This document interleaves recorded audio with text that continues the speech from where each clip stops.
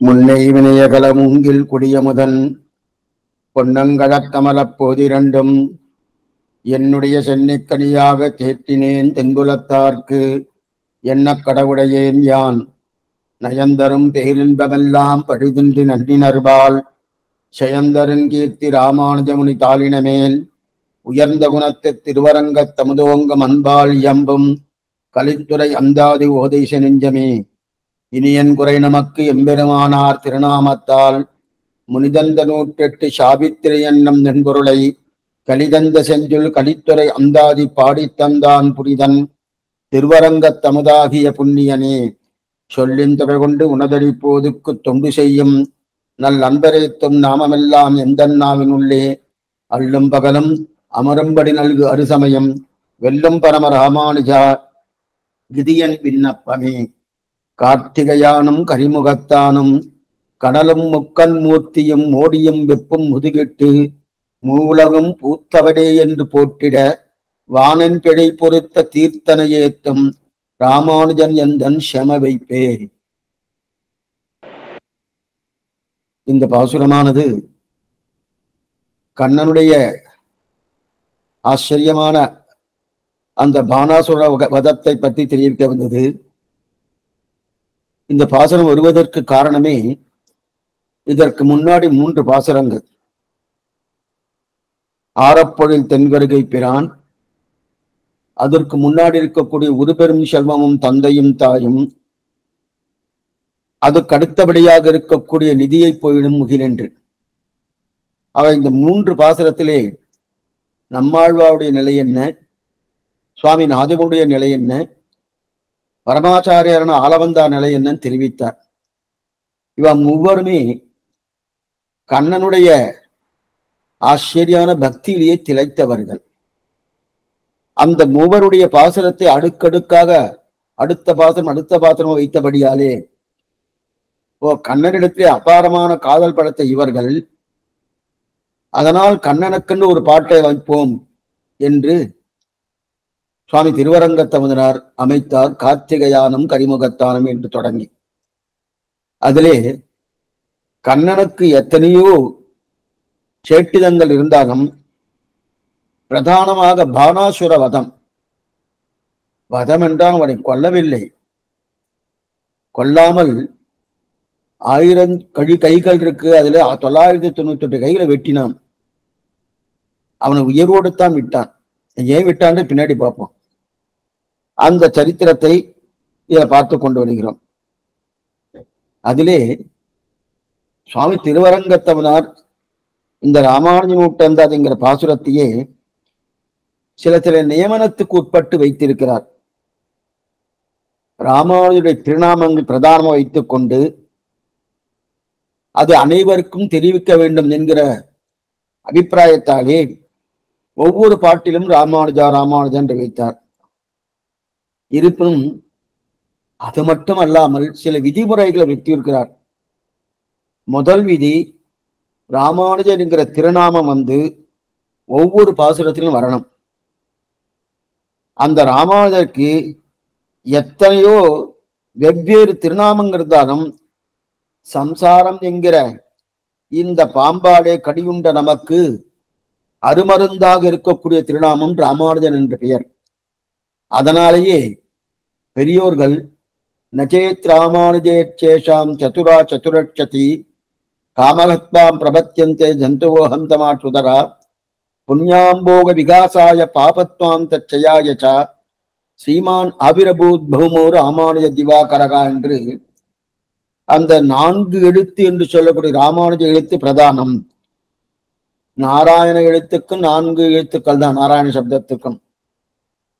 இதுக்கும் நான்கு சப்த எழுத்துக்கள் தான் இந்த ராமானுஜ சப்தத்துக்கும். ஆனாலும் இந்த ராமானுஜ சப்தத்துக்கு உண்டான வைபவம் நாராயண எழுத்து என்று நாலு சப்தத்துக்கு உண்டான நாலு எழுத்துக்களோட சப்தத்து உண்டு அந்த இதுக்கு வைபவமும் கிடையாது. இல்லை என்று சொல்லலாம். அதனால் தெரிவித்தார். அது மட்டுமல்லாமல் முதல் பாட்டிலே நெஞ்சே சொல்லு அவன் நாமங்கள் என்று தெரிவித்தார். அப்ப எல்லா நாமங்களும் சொல்ல வேண்டிய ஒரு அபிப்பிராயம் தான் ராமானுஜுக்கு ஆயிரம் நாமங்கள் உண்டு. அத்தனையும் சொல்லியிருக்கான். ஆனால் ராமானுஜா ராமானுஜன் நூத்தி எட்டு தடவை சொல்லக்கூடிய ஒரு அபிப்பிராயத்தை வச்சிருந்தார். ஒவ்வொரு நாமத்தையும் நூத்தி எட்டு தடவை சொல்லணுமா? அல்லது ராமானுஜ நாமத்தை நூற்றி எட்டு தடவை சொல்லணுமா? அல்லது ஒவ்வொரு நாமத்துக்கும் இந்தந்த நாமத்துக்கு நூற்றி எட்டு தடவை அப்படின்னு சொல்லணுமான்னா எத்தனையோ அபிப்பிராயங்கள் உண்டு. ஆனால் பிரதானமா ராமானுஜ நாமத்தை வைத்திருந்தார். அதுக்கு மேற்கொண்டு ஒரு திருநாமத்தை எப்படியும் சொல்லலாம் பல தடவையும் சொல்லலாம் பல திருநாமத்தையும் பல தடவையும் சொல்லலாம். இந்த அபிப்பிராயத்தை நான் வைத்திருந்தார். என்ன இருந்தாலும் சரி பிரபந்தம் அந்தாதியா இருக்கிறன்னு ஒரு அபிப்பிராயம். அந்தாதுன்னா எந்த சப்தத்தால் முடிகிறதோ அந்த சப்தமே அடுத்த பாத்திரத்துக்கு தொடக்கமாக இருக்கவன். வேண்டும் இதுக்குதான் அந்தாதின்னு பேரு அந்த நிர்பந்தத்தை வைத்துக் கொண்டார். இது இத்தனை வைத்துக் கொண்டு ராமானுஜ நூற்றாண்டு என்கிற கிரந்தத்தை அனுகிரகித்தார் நமக்கு. பிரபந்த காயத்ரி பிரபந்த சாவித்ரி என்று சொல்லப்படுகிறது. அதிலே இதில் நம்ம பார்த்து கொண்டிருப்பது கார்த்திகையானும் கரிமுகத்தானும் கனலும் முக்கன் மூர்த்தியும் மூடியும் வெப்பும் முதுகிட்டுங்கிற பாசுரம். அதுல பானாசுரனுடைய வதத்தை பத்தி தெரிவித்தார். ஆனா அந்த பானாசுரன் ரட்சித்தது யார் என்றால் கண்ணன் தான். சிவபெருமான் ரட்சிக்கவில்லையானா ரட்சிக்கலையே. முதுகிட்டு மூவுலகம் பூத்தவனே. எல்லாருமே ஓடி போயிட்டாலே கார்த்திகையான் என்ன கருமுகத்தான் என்ன கனல் என்ன முக்கன் மூர்த்தி என்ன மோடி என்ன வெப்பு என்ன இவர்கள் எல்லாம் முதுகிட்டு ஓடினார்கள்வா. அவர்களால் பானாசுரன் ரட்சிக்க முடியவில்லை. கண்ணன் தான் ரட்சித்தான். சிவபெருமானையும் கண்ணன் தான் ரட்சித்தான். அதே போல பானாசுரனையும் கண்ணன் தான் ரட்சித்தான். ஆனால் அப்படிப்பட்ட ரட்சித்த கண்ணன் அந்த கண்ணுடைய வைபவத்தையே தெரிவிக்கிறார் சுவாமி ராமானுஜர். மோடியும் வெப்பும் முதுகிட்டு மூலகம் பூத்தவனே என்று போட்டிட வானன் பிழை பொறுத்த தீர்த்தன். அந்த பானாசுடைய பிழையை பொறுத்தான் தீர்த்தன். தீர்த்தன்னா ப- பரிசுத்தன். அப்படிப்பட்ட தீர்த்தனை ஏற்றும் ராமானுஜன். அந்த தீர்த்தனுடைய வைபவம் கண்ணனுடைய வைபவத்தை எப்பொழுதும் பேசிட்டு இருப்பாராம் எப்பொழுதுன்னா என்ன சுவாமி பேசுவார்? கீதா பாஷத்துல பேசுறார். தன்னுடைய சீபாஷத்திலும் பேசுறார். கீதா பாஷத்துல அவதாரிகளை ரொம்ப நன்னா எடுத்திருக்கார். கண்ணுடைய வைபவம் என்னன்னா கீதா பாஷ அவதாரிகள் ரொம்ப நன்னா எடுத்திருக்கார். அதே போல சீபாஷியம் இந்த உலகோத்தருக்கெல்லாம் நன்னா தெரியுன்றதுக்காக அதுலயும் நன்னா சொல்லியிருக்கார். அப்படிப்பட்ட ரட்சகன் கண்ணன். அந்த கண்ணன் என்ற ரட்சகனை அனுவர்த்தனம் பண்ணினார் சுவாமி ராமானுஜன் அவரே எனக்கு எப்படிப்பட்டவர்? எந்தன் சேம வைப்பே? எனக்கு வைப்பு நிதி யார் என்றால் அந்த ராமானுஜரையும் தெரிவிக்கிறார் திருவரங்கத்தமதனார் இதுல நேற்றைய காலக்ஷம் முடிஞ்சதுக்கு அப்புறம் ஒரு சில சுவாமிகள் யாரோ ஒரு அம்மா ரெண்டு மூணு பேர் கொஞ்சம் ஃபோன் பண்ணி சுவாமி அது என்ன சுவாமி? இந்த மாதிரி சுப்பிரமணியன் அண்ணன் அதே போல கரிமுகத்தான் என்று சொல்லக்கூடிய அந்த விநாயகர் அண்ணன் மேற்கொண்டு சிவபெருமான் அண்ணன் இவர்களை பத்தியெல்லாம் சொன்னேனே அந்த மாதிரி இருக்கா? அந்த மாதிரி இதெல்லாம் உண்டா? இதெல்லாம் சரித்திரங்கள் இருக்கா? ரெண்டாவது ஏன் நான் அந்த மாதிரி இருக்கணும்? அப்படின்னு சில சில கேள்விகளை கேட்டார். நேரடியாக காலட்சத்திலே கேட்டிருக்கலாம். இருந்தாலும் தனியாக கேட்டிருக்கா. இருந்தாலும் அந்த விஷயத்தை கொஞ்சம் பார்த்துட்டு மேற்கொண்டு பாசுரத்துக்கு போகும் இதுல நம்முடைய ராட்சசர்களாக அரக்கர்களாகட்டும் அசுரர்களாகட்டும் அவளுக்கு வரபலம் தான் பிரதானமா பார்க்கிறா. வரத்தை கொடுத்துடுறா. பிரம்மா வரத்தை கொடுக்குறார்.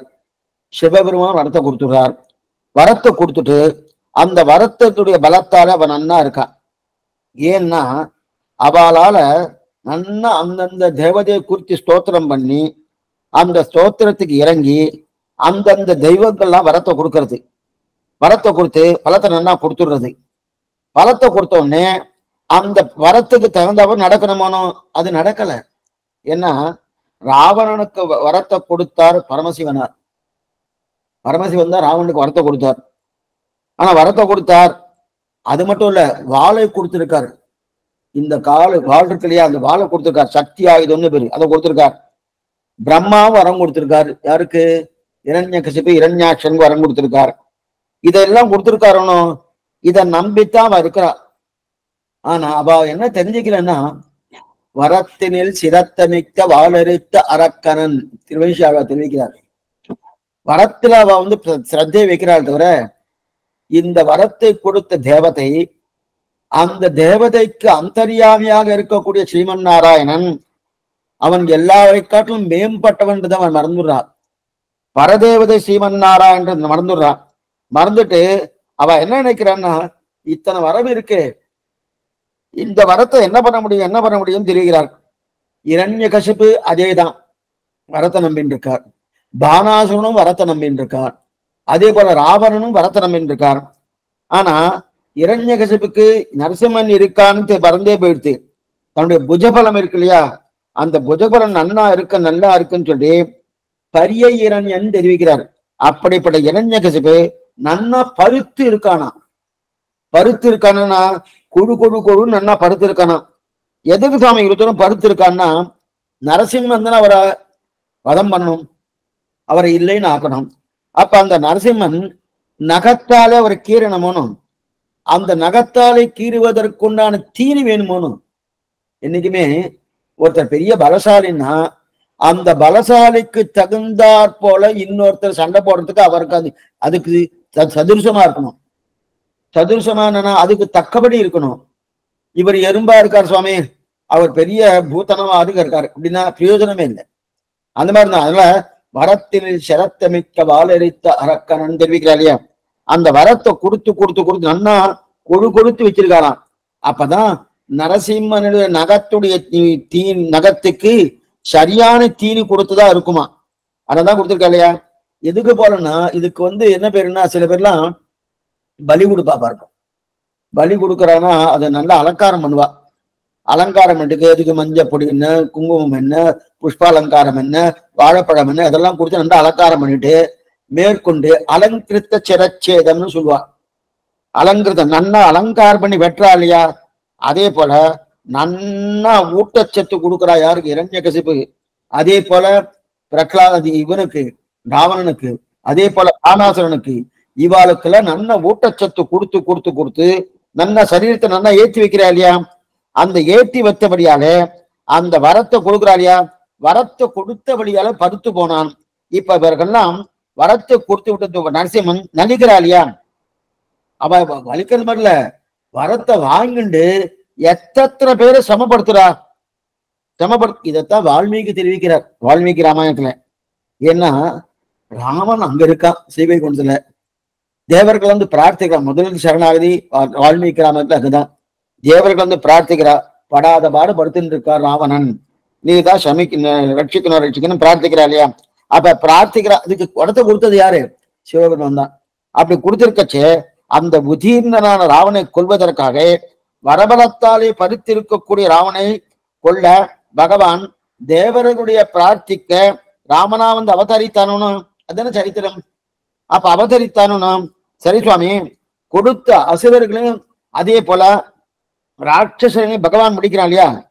முடிக்கும் காலத்தில் அவர் கொடுத்த வரத்துக்கு தகுந்த அவரை பறக்கிறார்.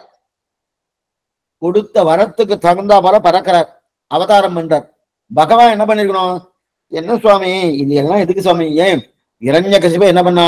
மனுஷனால கூடாது பகல்ல கூடாது ராத்திரில கூடாது மிருகத்தால கூடாது. என்னென்ன கேட்கணும்? இன்னும் மிச்சம் இல்லை. அத்தனையும் கேட்டா சொன்னோம். அதற்கு தகுந்தாற் போல வந்து வந்து அவதாரம் பண்ணணும். பிரம்மாவோ சிவனோ வரத்தை கொடுத்துருவார். வரத்தை கொடுத்ததுக்கு அப்புறம் அந்த வரத்துக்கு தகுந்தா இவரை வந்து அவதாரம் பண்ணணும். சரி சுவாமி அந்த வரத்தை இல்லைன்னு பண்ணா என்ன? ஏன்? அவர் கொடுத்த வரத்தை இல்லைன்னு பண்ணா என்ன? மேற்கொண்டு சொல்றேன் அதை.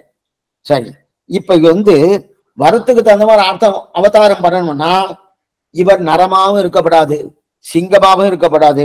நரத்துவம் சிங்கத்தும் கலந்தமா இருக்கணும். அது மட்டும் இல்ல ராத்திரியும் கூடாது பகல்லையும் கூடாது உயிர் இருக்கக்கூடிய வஸ்துவாலும் கொல்லப்படாது உயிர் அற்றதாக இருக்கக்கூடிய வஸ்துவாலும் கொல்லப்படாது. இத்தனை வரகு வாங்கியிருக்கான். இதுக்கு தகுந்தா போல வரணும் போனோம் சரி சுவாமி அவர் இருக்கிற இடத்துல கொண்டுட்டு போயிடலாமே. செய்வை கொண்டு ஒரு சங்கல்பம் பண்ணா போறமே கருதுமிடம் பொருது பண்ணால் கை நின்ற சக்கரத்தன் ஆழ்வாரே தெரிவிக்கிறாரு. எங்க இருக்கோ சென்று நின்று ஆழி தட்டான் என்று வந்துதான் பண்ணார். அங்க இருந்த இடத்திலிருந்து இவர் சம்ஹாரம் பண்றதுக்குண்டான சாமர்த்தியம் உண்டா இல்லையா? உண்டு. பண்ணிருக்கலாமே ஏன் பண்ணல? எதுக்காக பண்ணல? எதுக்காக அந்த மாதிரி பண்ணலாமன்னா தானான தன்மையோடு கொண்டிருக்கலாமன்னா கொண்டுட்டா வரம் பொய்யாயிடும் கொஞ்சம் நல்லா இதை கேட்டுட்டு ஏன்னா நேத்திக்கு அந்த மாதிரி கேள்வி கேட்டுட்டா. ஆனா அதுல பதில் சொல்றதுக்கு அப்படின்னு நாழி இல்லை.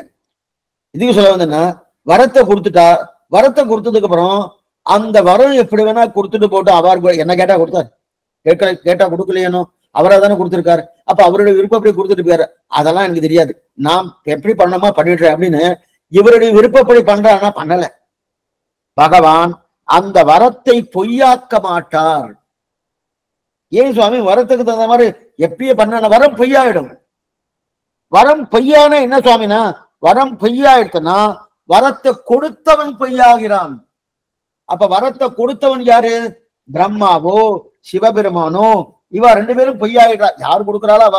பொய்யாயிடணும் இப்ப வரத்தை கொடுத்த பொய்யாயிடணும் என்ன அர்த்தமே அப்ப என்ன ஆகுது அப்ப வரத்தை கொடுத்த பொய்யானா இவனை சிட்டுத்தது இவருக்கு வியாபாரத்தை கொடுத்ததெல்லாம் வார்த்தையெல்லாம் பொய்யாருது நாராயணன் படைத்தான் நான்மகனை நான்மகனுக்கு ஏறார் சிவன் பிறந்தார் என்னும் சொல் இவளை சிருட்டித்து இவாளுக்கு இந்தந்த தெய்வமா ஆக்கி இவாளுக்கு இந்தந்த காரியத்தை கொடுத்துருக்காரணும் நாட்டினாம் தெய்வவங்கம் நல்லதோர் அருள் தன்னாலே காட்டினாம் திருவரங்கம் உய்பவர் கொய்யம் வண்ணம் நிறுத்தினாம் தெய்வங்களாக அத்தெய்வநாயகன் தானேன்னு இதெல்லாம் பொய்யாகும். சரி சுவாமி அந்த வார்த்தை பொய்யாயிட்டா என்ன? சத்தியகாமகா சத்திய சங்கல்பகா அப்படின்னு சொல்லக்கூடிய ஸ்ருதி வாக்கியங்கள் சாஸ்திர வாக்கியங்கள் பொய்யாகும். சாஸ்திர வாக்கியம் என்னைக்குமே பொய்யாகப்படாது. இதான் ரொம்ப முக்கியம். சாஸ்திர வாக்கியம் பொய்யவாகாது ஏன்னா சாஸ்திர வாக்கம் பொய்யாக நலிவு ஏன்னா சாஸ்திரம் உண்ணும்?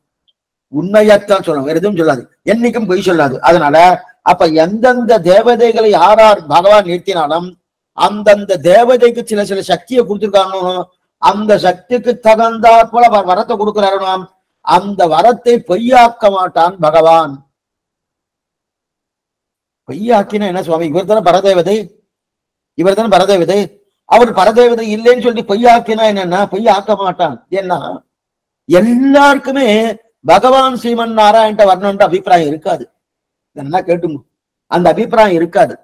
ஏன் இருக்காதுன்னா சில சில தேவதைகள் அப்பப்ப அப்பப்ப கொடுத்துரும். இப்ப சிவனோ பிரம்மாவோ இந்திரனோ இவெல்லாம் சுமாரா பிரார்த்தித்தாலே அந்தந்த பலத்தை கொடுத்துருவா. அந்தந்த பலத்தை கொடுத்துவாருன்னு சாமானிய பலம் அந்த பலத்தை கொடுத்துருவா. கொடுத்தான இவாளுக்கு ஒரு நம்பிக்கை ஏற்படுமணும் இப்ப பகவான் அந்த மாதிரி கொடுப்பாருன்னா கொடுக்க மாட்டார். அவர் அந்த மாதிரி கொடுக்க மாட்டார். கொடுக்க மாட்டேன்னா அவருக்கு ஒரே பலன் இது. மோட்சைகேது எல்லாம் சகல பல பிரதூக விஷ்ணு தான் எல்லா பலத்தையும் கொடுக்கக்கூடிய சாமர்த்தம் படைத்தவர் விஷ்ணு தான் இருந்தாலும் சட்டுன்னு கொடுப்பாருன்னா கொடுக்க மாட்டார். நிறைய சோதிப்பார்.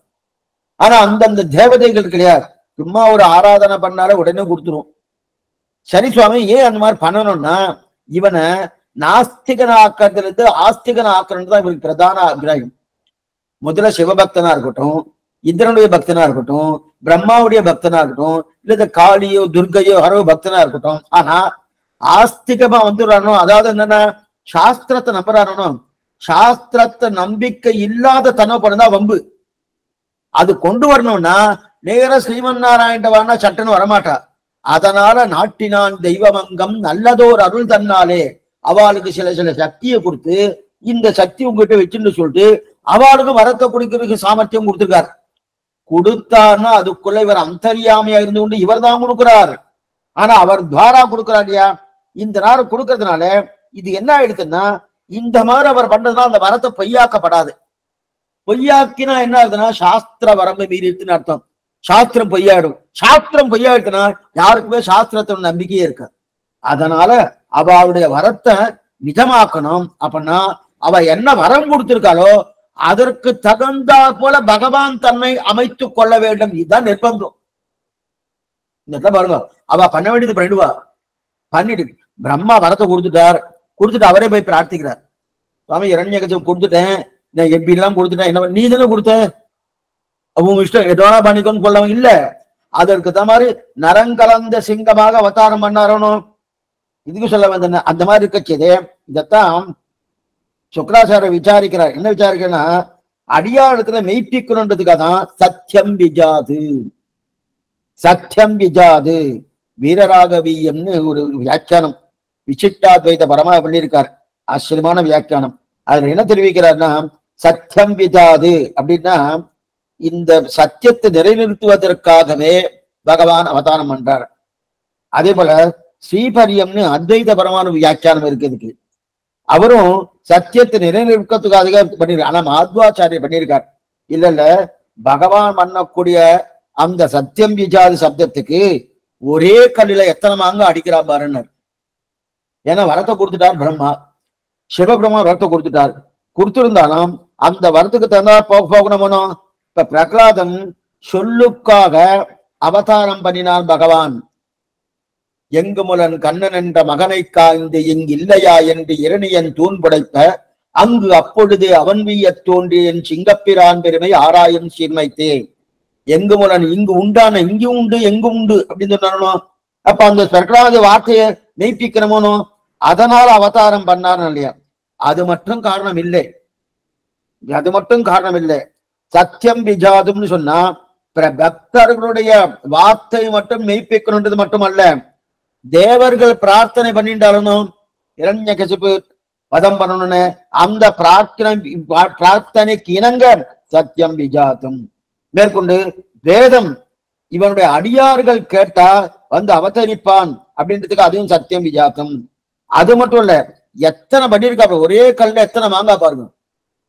ஒரே சப்தத்தை எத்தனை மாங்காய் எடுத்துக்கிட்டீங்கன்னா வே வேத வாக்கியத்தை சத்தியமாக்கினார். இந்த ஆசிரிதன் என்று சொல்லக்கூடிய பகவதன் என்று சொல்லக்கூடிய பிரகலாத வாக்கியத்தை சத்தியமாக்கினார்.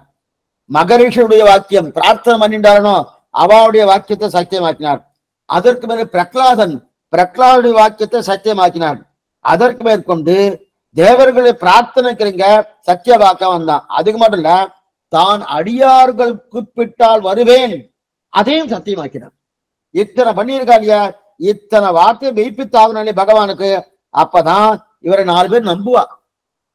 இல்லைன்னா வரத்தை கொடுத்தாச்சுன்னா அந்த வரத்துக்கு கொடுத்தா கொடுத்துன்னு போட்டுனா என்ன வேணா படிக்கிறேன் பண்ணலாமான்னா அந்த சாமர்த்தியம் பகவானுக்கு உண்டு.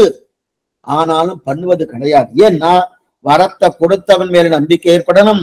அப்படிதான் நம்பிக்கை ஏற்படுதா அந்த வரத்தை கொடுக்க சொல்லி கொடுக்கறதுக்கு நான் சக்தியை கொடுத்த பகவான் மேல ஒரு நம்பிக்கை வரும். அந்த பகவான் சாஸ்திர வனம்பை மீறமாட்டான்னு நம்பிக்கை வரும் இல்லையா? அதனால்தான் அப்ப அதை நம்பித்தான் ரெண்டு பேரும் விழறா இல்லையா? ஏன்னா இல்லைன்னா எல்லாத்தையும் போக வேண்டிய ஏன்னா இத்தனை தெய்வங்கள் எதுக்காக இருக்கு? ஒருத்தருக்கு ஒவ்வொரு தெய்வம் பிடிச்சிருக்கணும். இருந்தாலும் ஏன்னா அந்தந்த மேல ஒரு நம்பிக்கை ஏற்படுறது. அந்த நம்பிக்கை வீணா போயிடுத்துன்னு வச்சுக்கேன் அந்த தெய்வத்திலே அவர் நம்பிக்கை போயிடும். போயிடுத்துன்னு வச்சுக்க நாஸ்திகன் ஆயிடும். அதுதான் தான் இது. இப்ப சந்தேகம் என்ன வரும்னா இப்ப சந்தேகம் என்ன தெரியுமா நமக்கு வரும்? சுவாமி இந்த கார்த்திகையானும் கரிமுகத்தானும் பாட்டு முழுவதும்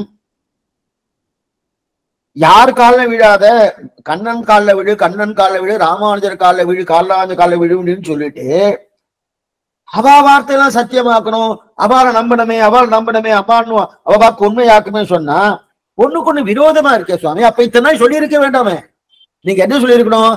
அவளை நம்பாத என் வா- என்னைய நம்பு அப்படின்னு சொல்லியிருந்தா உண்டை வந்துடுவோம் அதை விட்டுட்டு இத்தனை நாளி காலக்ஷேபத்துல அவளை நம்பாத நம்பாதன்னு சொல்லிட்டு இப்ப என்ன ஆயிடுச்சுன்னா இல்ல அவரை நம்பணும் அப்படின்னு சொல்லிட்டு இருக்கிறேன் அப்ப ஒண்ணுக்கு ஒண்ணு விரோதம் இல்லையா? கார்த்திகையானும் கரிமுகத்தானும் கனலம் முக்கன் மூட்டியும் ஓடியும் வெப்பும் முதுகிட்டு மூலகம் பூத்தவனே என்று போட்டிட. அந்த சப்தத்தை தான் பார்த்திருக்கோம். முன்னாடியே முடிக்கல அந்த சப்தத்துக்கு உண்டான அர்த்தம் முடியவே இல்லை. ஆனா அங்க என்ன சொன்னோம்? கண்ணன் தான் ரட்சகன். பானாசுரனை ரட்சித்ததும் கண்ணன் தான்.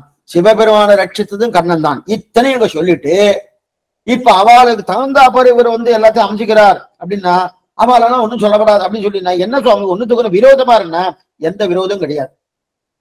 எந்த விரோதம் கிடையாது. இந்த இடத்துல என்னன்னா கொஞ்சம் தெளிவா சொல்றேன். நேர்மையா கேட்கணும். நல்லா ஒத்துங்க அதாவது அவ எந்த விரோதம் கிடையாது. அவர்களை சேவிக்க வேண்டியவர்கள் தாராளமா சேவிக்கலாம். அப்ப போலாமா சுவாமி? யாரு போகணுன்றது முக்கியம். அவளை சேவிக்க என்றவர்களை தாரமா செய்கிறான்.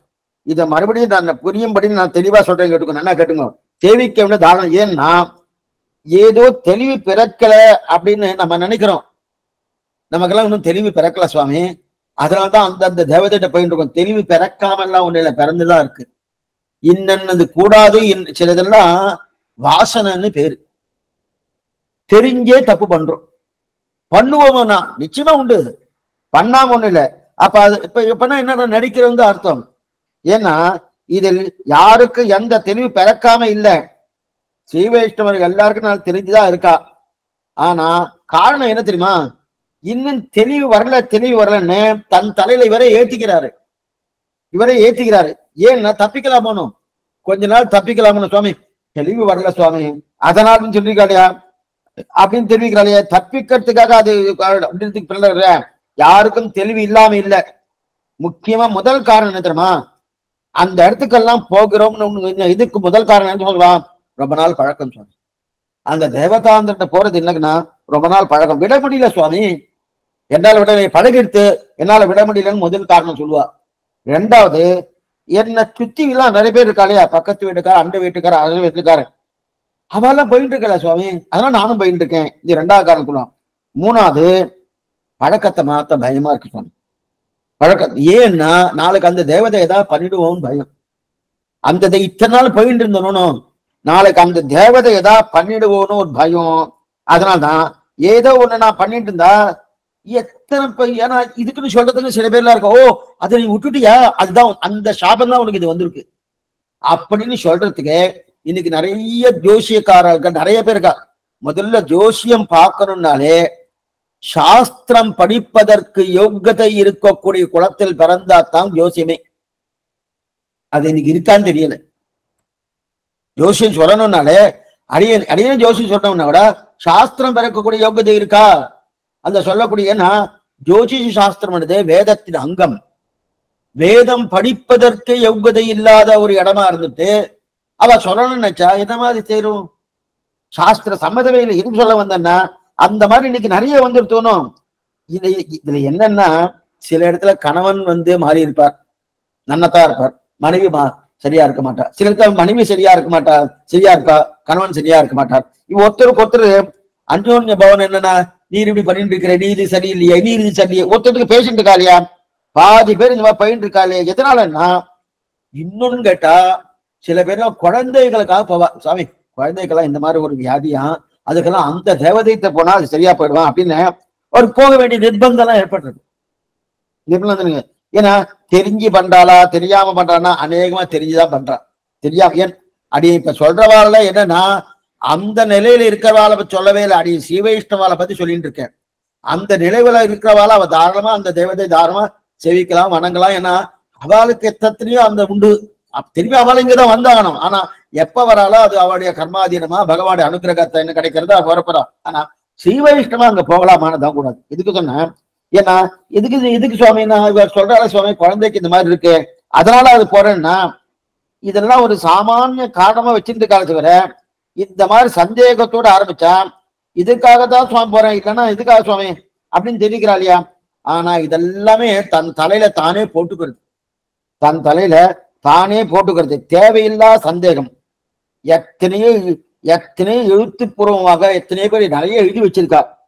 எழுதி வச்சிருந்தாலும் ஆனா நிச்சய புத்தி வாழ்கிறது கடைசி பட்சம் திவ்ய தேசங்களை சுத்தியாவது இருக்கணும்.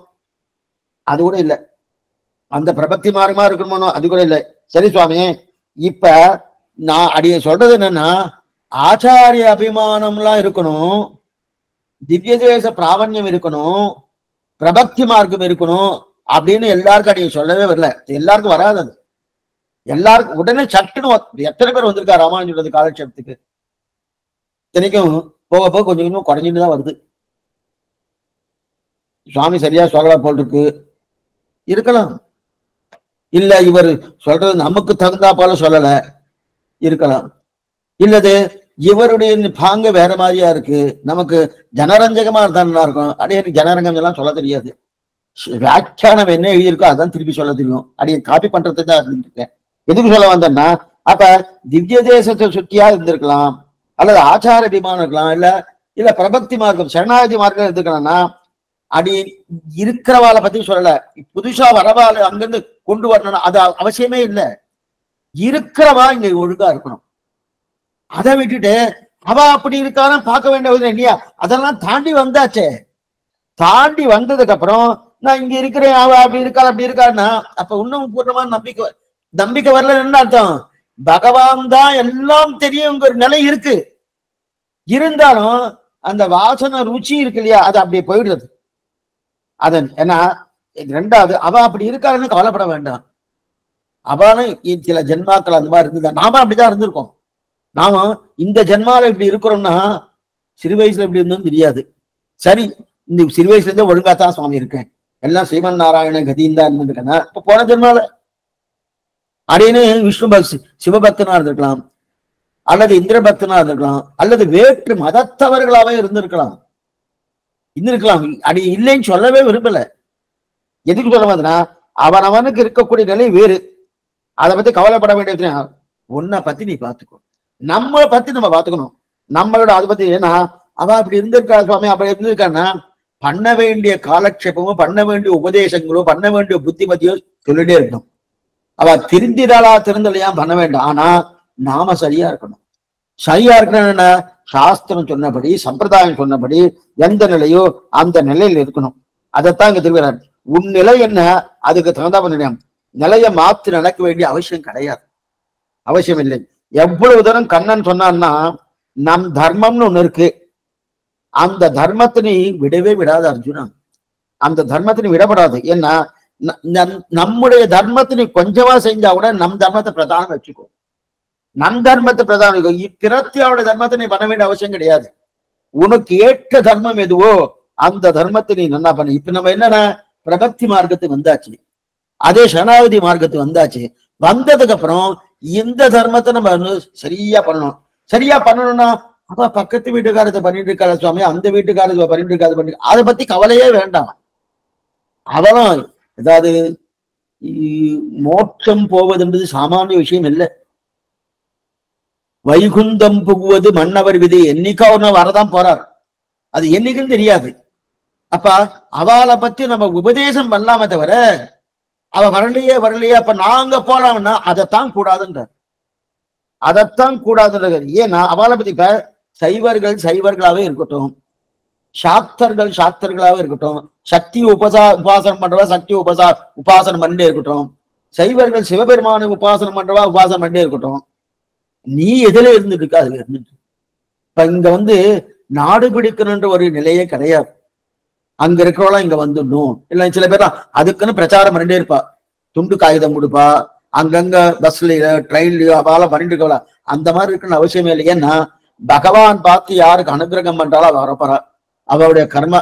அதுக்குன்னு பார்த்து அவர் தான் பண்றாருன்னு சொல்ல நம்முடைய பிரயத்தனமும் உண்டு.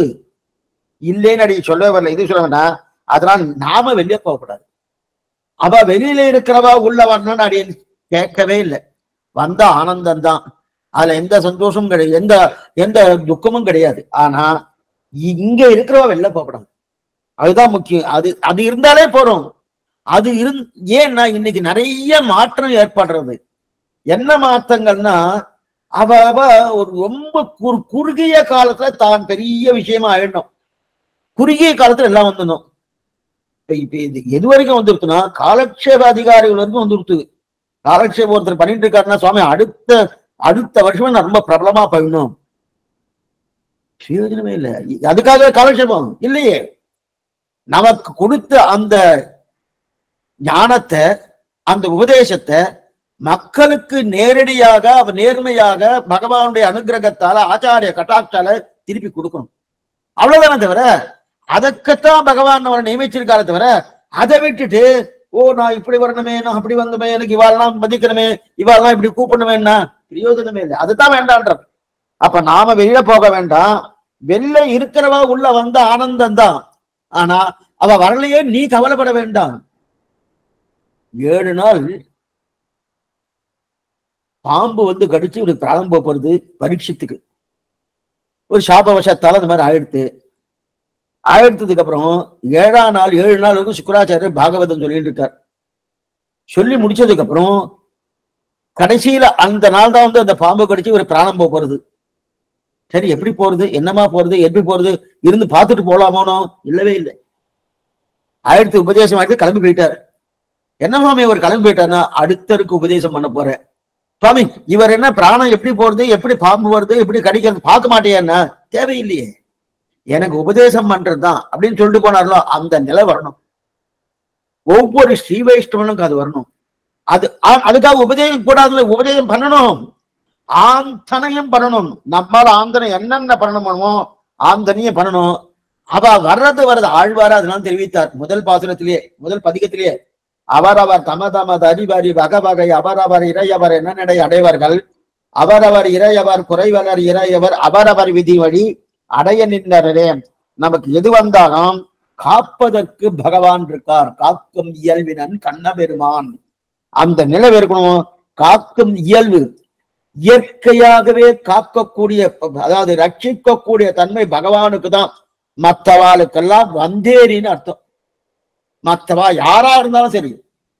யாரா இருந்தாலும் காக்கும் இயல்பனன் இயற்கையான காக்கக்கூடிய தன்மை யாருக்குன்னா பகவானுக்கு தான் கண்ணன் ஒருத்தனுக்குத்தான் இயற்கையான ரட்சகத்துவம் உண்டு.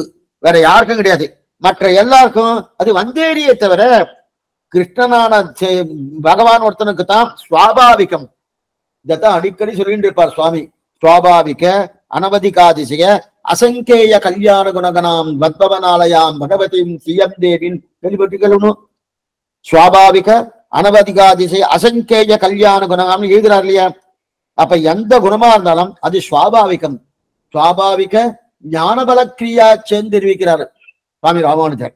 அப்படி இருக்கச்சே அவனுக்கு இருக்கக்கூடிய குணங்கள் எல்லாம் சுவாபாவிகம். வந்தேது கிடையாது. யார்கிட்டயும் பிரார்த்தித்து வாங்கி கொண்ட குணங்கள் கிடையாது பகவான்கிட்ட. அப்ப பகவான் ரட்சகன் பகவான் ஒருத்தர் தான். இத தெரிஞ்சின்ற நாம் மத்த இடத்துக்கு போகக்கூடாது. சகல பல பிரதோகி விஷ்ணு. இருக்கு இல்லையா ஒருத்தருக்கு நன்னா பாருங்க. ஒருத்தர் நன்னா கை முன்னாடி கை நீட்டின்னு பெற வேண்டிய குணங்கள்லாம் கிடையாது.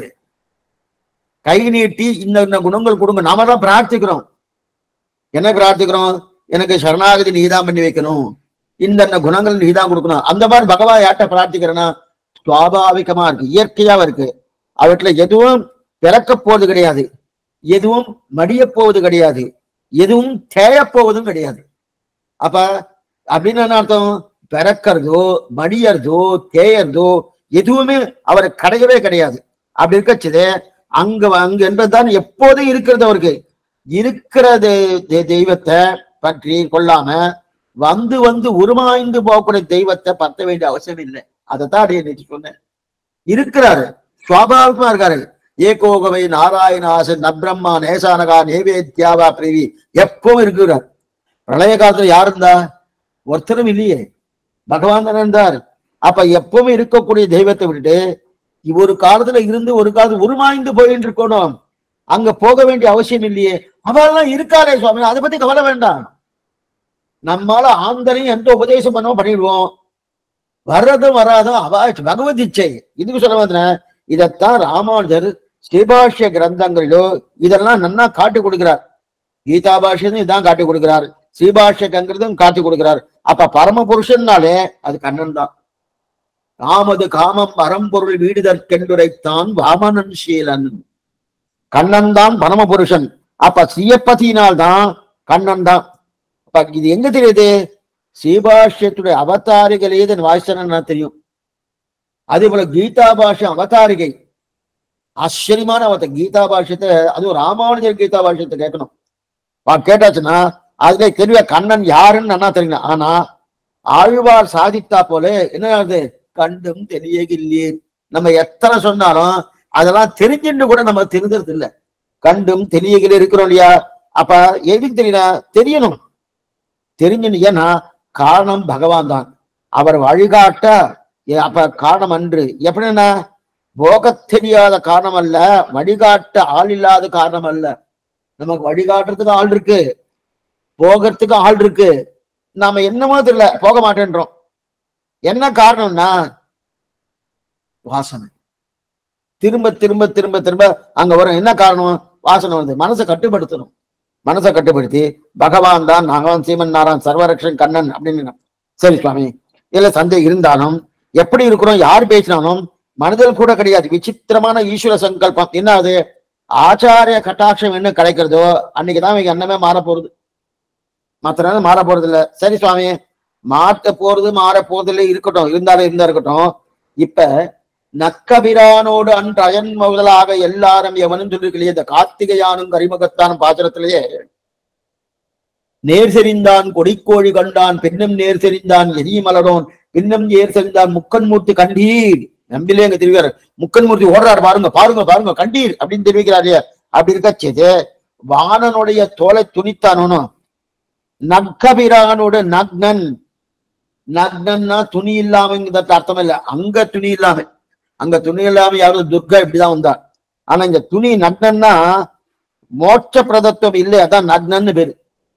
மோட்ச பிரதத்துவம் மோட்சயிச்சே ஜனார்தனாக ஆரோக்கியம் பாஸ்கராதிச்சேது சியமிச்சேது யுதாசனாது சங்கராதி ஞானமன்னிச்சேது மோட்சயிச்சே ஜனார்தனான் இல்லையா?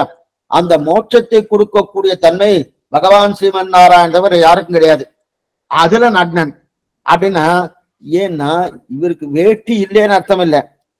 இவருக்கே ஒரு வேட்டி இல்ல. இவர் போய் இன்னொரு வேஷ்டி தானம் கொடுக்க முடியுமா? கொடுக்க முடியாது இல்லையா இவரே இன்னும் மோட்சத்துக்கு போகலையே. இவர் என்னமா மோட்சம் கொடுக்க முடியும்? எதுக்குன்னு? இதுக்குன்னு யாரும் சில சிரமங்களை இந்த இடத்துல பாருங்க. அப்பனா நீ சீவைஷ்ணவத்துக்கு வந்தாச்சுன்னா ஒரு சிரமமும் இருக்காதா? சீவைஷ்ணம் வந்துட்ட சுவாமி. சில பேர் சொல்றா பாருங்க எங்க மதத்துக்கு வந்துருங்கோ. கூரையை பிச்சுன்னு கொடுப்பா. கொடுத்துட்டே இருக்கணும். அப்படிலாம் ஒண்ணு கிடைக்காது. மேல இருந்து காரை தான் வழும் வேற எதுவும் விடாது இது சொல்றேன் அப்ப சீவைஷ்ணவம் வந்து எந்த சமமும் இருக்காதன்னா எல்லா சமமும் உண்டு. அப்ப இது சுவாமி நீங்க சொல்லிட்டு கேள். எல்லா சமம்னா சமம் சமமா தெரியாது. சமமே இந்த லோகத்துக்கு வந்தாச்சனால சமம் உண்டு.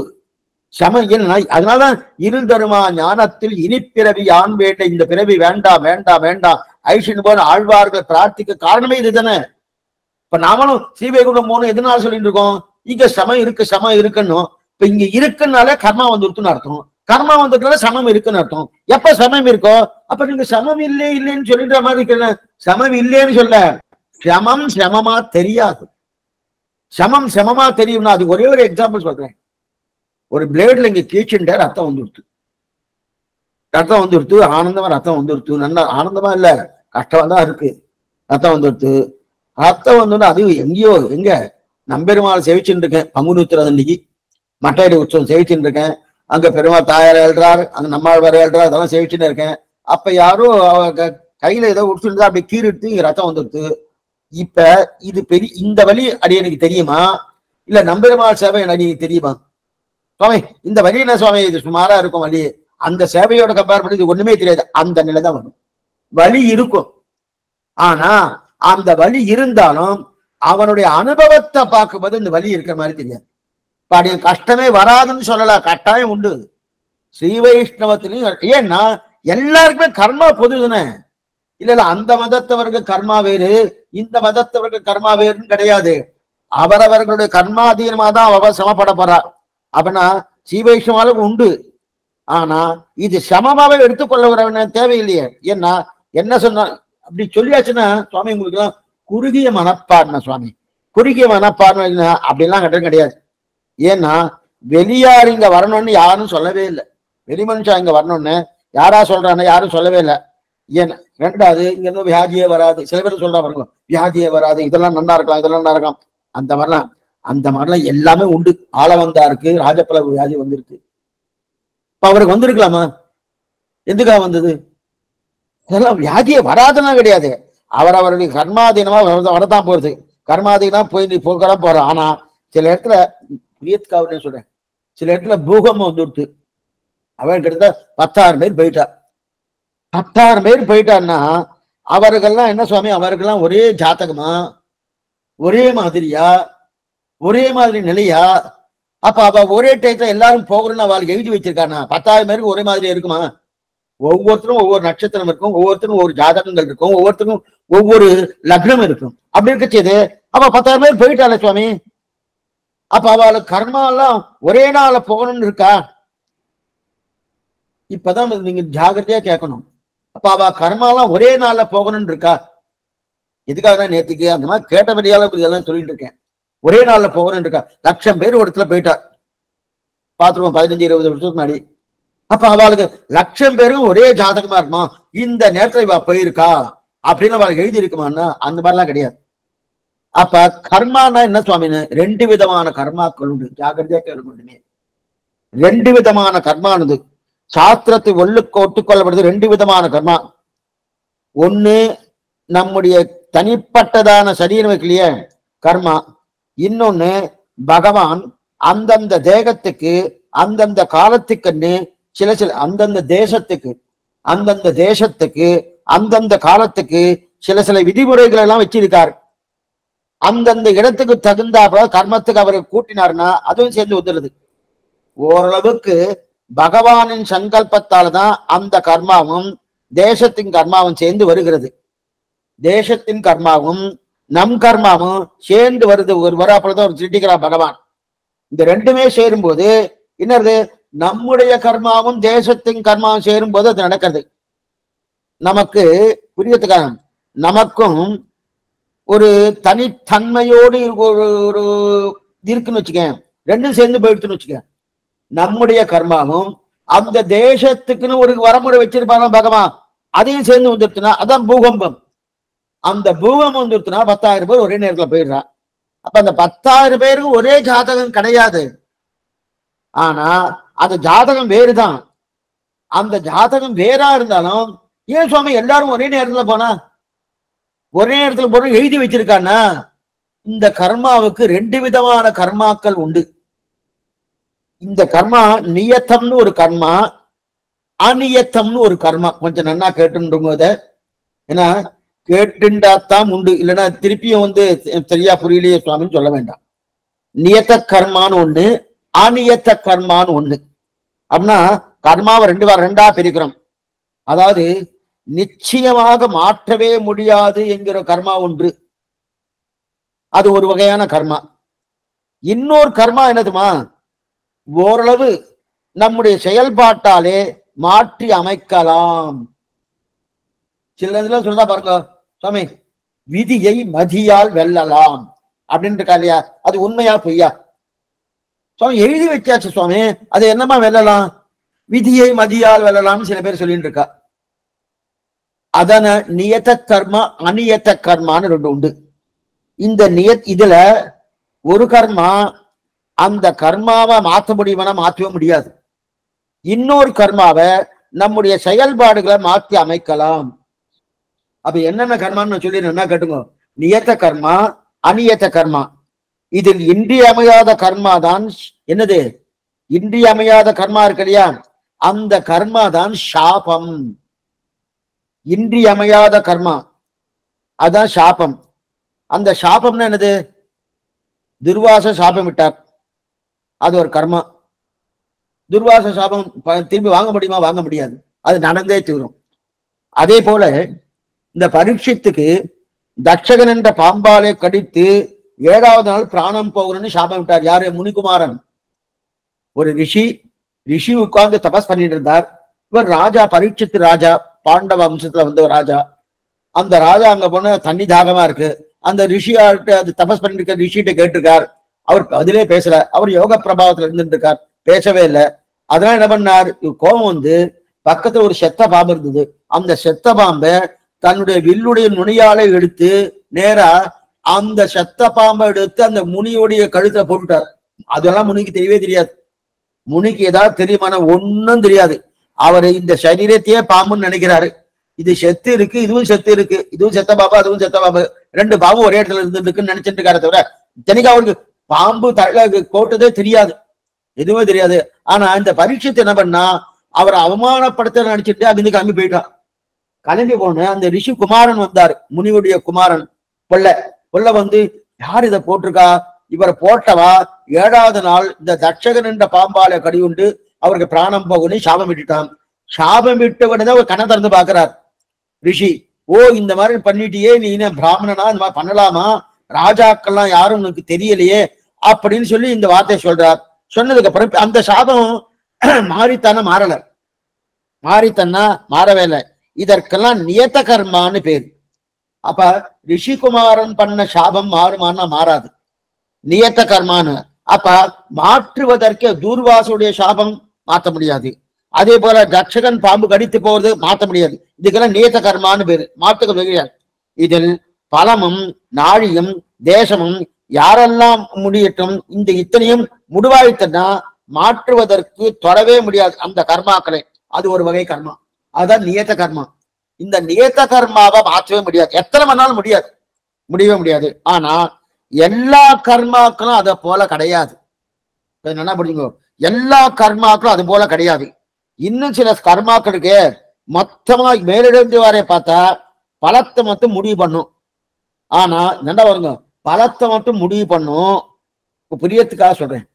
எழுபது ஆண்டுகள் எண்பது ஆண்டுகள் நம்ம வாழ்ந்துட்டு வச்சுக்கோ.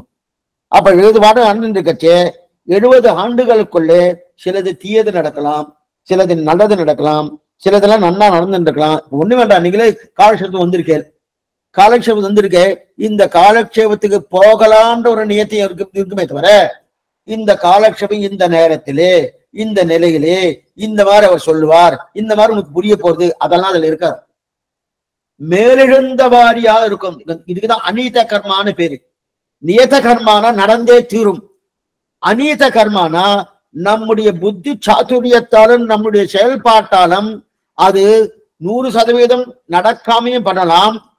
ஐம்பது சதவீதம் நடந்து ஐம்பது சதவீதம் நடக்காமலும் படலாம். அது மாறுவதற்குண்டான இதுதான் விதியை மதியால் வரலான்றது. அப்ப இதெல்லாம் நடக்குது. அப்ப நியத்த கர்மான்னு நடந்தே தீரும். அந்த சாபம். அநீத்த கர்மான்றது அநேகமா கர்மாக்கள் நம்மகிட்ட இருக்கும். ஆனா அது ஒவ்வொன்றும் தனித்தனியா இருக்குமானா இருக்காது. அப்படின்னா இந்த நேரத்துக்கு நான் இங்க போகணும் இங்க ஆக்சிடென்ட் ஆனோம் அதெல்லாம் எழுதி வைக்காது. இந்த நேரப்படி உனக்கு நேரம் சரியில்லை அவ்வளவுதான் சொல்லும். அவ்வளவுதான். அது துல்லியமா எல்லாமே இருக்குமானா இருக்காது. அநேகமா கர்மாக்கள் நம்மகிட்ட இருக்கு இல்லையா? இதே சொல்றேன் இந்த எக்ஸாம்பிள் இந்த உபன்யா இந்த காலக்ஷேபம் எக்ஸாம்பிள் நீங்க கேட்டு இருக்க கேட்டு இந்த நேரத்துல இன்னைக்கு இந்த மாதிரி இந்த வாரத்துல இந்த பத்து மணிக்கு இந்த மாதிரி ஆரம்பிப்பா அப்படின்னு எல்லாம் இருக்குமானா? அதெல்லாம் கிடையாது. அப்படிலாம் எழுந்து வாரியா இருக்காது இதெல்லாம் அதெல்லாம் பண்ண பொதுவா இருந்துட்டு இருக்கும் அப்படியே அப்ப ஸ்ட்ரிக்ட் கர்த்தா பகவான் இருப்பதற்கு வாய்ப்பு கிடையாது. இதெல்லாம் இந்த மாதிரி வாய்ப்பு கிடையாது. இதெல்லாம் அந்நியத்த கர்மான்னு பேர். அப்பனா ஓரளவுக்கு கர்மா முடிக்கிறார். அந்த கர்மா என்பது நம் செயலால் ஓரளவுக்கு திருத்தி கொள்ளலாம். கொஞ்சம் என்ன புரிஞ்சுக்கோ. இது அநியத்த கர்மாவை திருத்தலாம். நியத்த கர்மாவை ஒண்ணுமே பண்ண முடியாது. சாபம் விட்டாச்சுன்னா ஒண்ணும் பண்ண முடியாது. அகல்யாவுக்கு சாபம் வந்துட்டு கள்ளதான் போயிட்டா என்ன பண்ண முடியும்? அப்புறம் ராமனுடைய திருவை பட்டு நேரா சாப்பை சாப விமோசம் பெற்று சொன்னோம் இதுக்கு சொல்ல வந்தேன்னா அந்த மாதிரி ஆனா அநீத கர்மா ஓரளவுக்கு திருத்தலாம். இப்ப இந்த கருத்தை நம்ம ஒத்துழைல வச்சுக்கேன் இந்த பாருங்க சுவாமி நான் தான் பண்ணிட்டு இருக்கேன் ஒரு பக்கம். ஒரு பக்கம் நான் பண்ணல என்னுடைய நிலையில ரெண்டுமே இருக்கு இல்லையா? ரெண்டுமே நம்ம ஒத்துக்கலன்னா ஒவ்வொன்றும் பகவத் திருஷ்டியா தான் நடக்கிறது. அவருடைய விருப்பப்பட்டு தான் இருக்குது. அவர் என்ன நினைக்கிறார்? ஏன்னா அவனன்றி ஓர் அணுவும் அசையாதுன்னு இருக்கார் இது சொல்றாங்க. இது அதுவும் அநேகம் சைவத்துல இது நிறைய சொல்லுவோம் அவனன்று ஓர் அணுவும் அசையாது அப்படின்றா இல்லையா? அவனன்றி ஓர் அணுவும் அசைன அணுன்ற சப்தத்துக்கு ஜீவாத்மனே எடுத்துட்டா எடுத்துட்டு அவனன்றி ஓர் அணுவும் அசையாதுன்னு சொல்றா இல்லையா? அந்த மாதிரி நம்ம வச்சுட்டோம் வச்சுக்கேன் சுவாமி எதுவாக இருந்தாலும் அவர்தான்.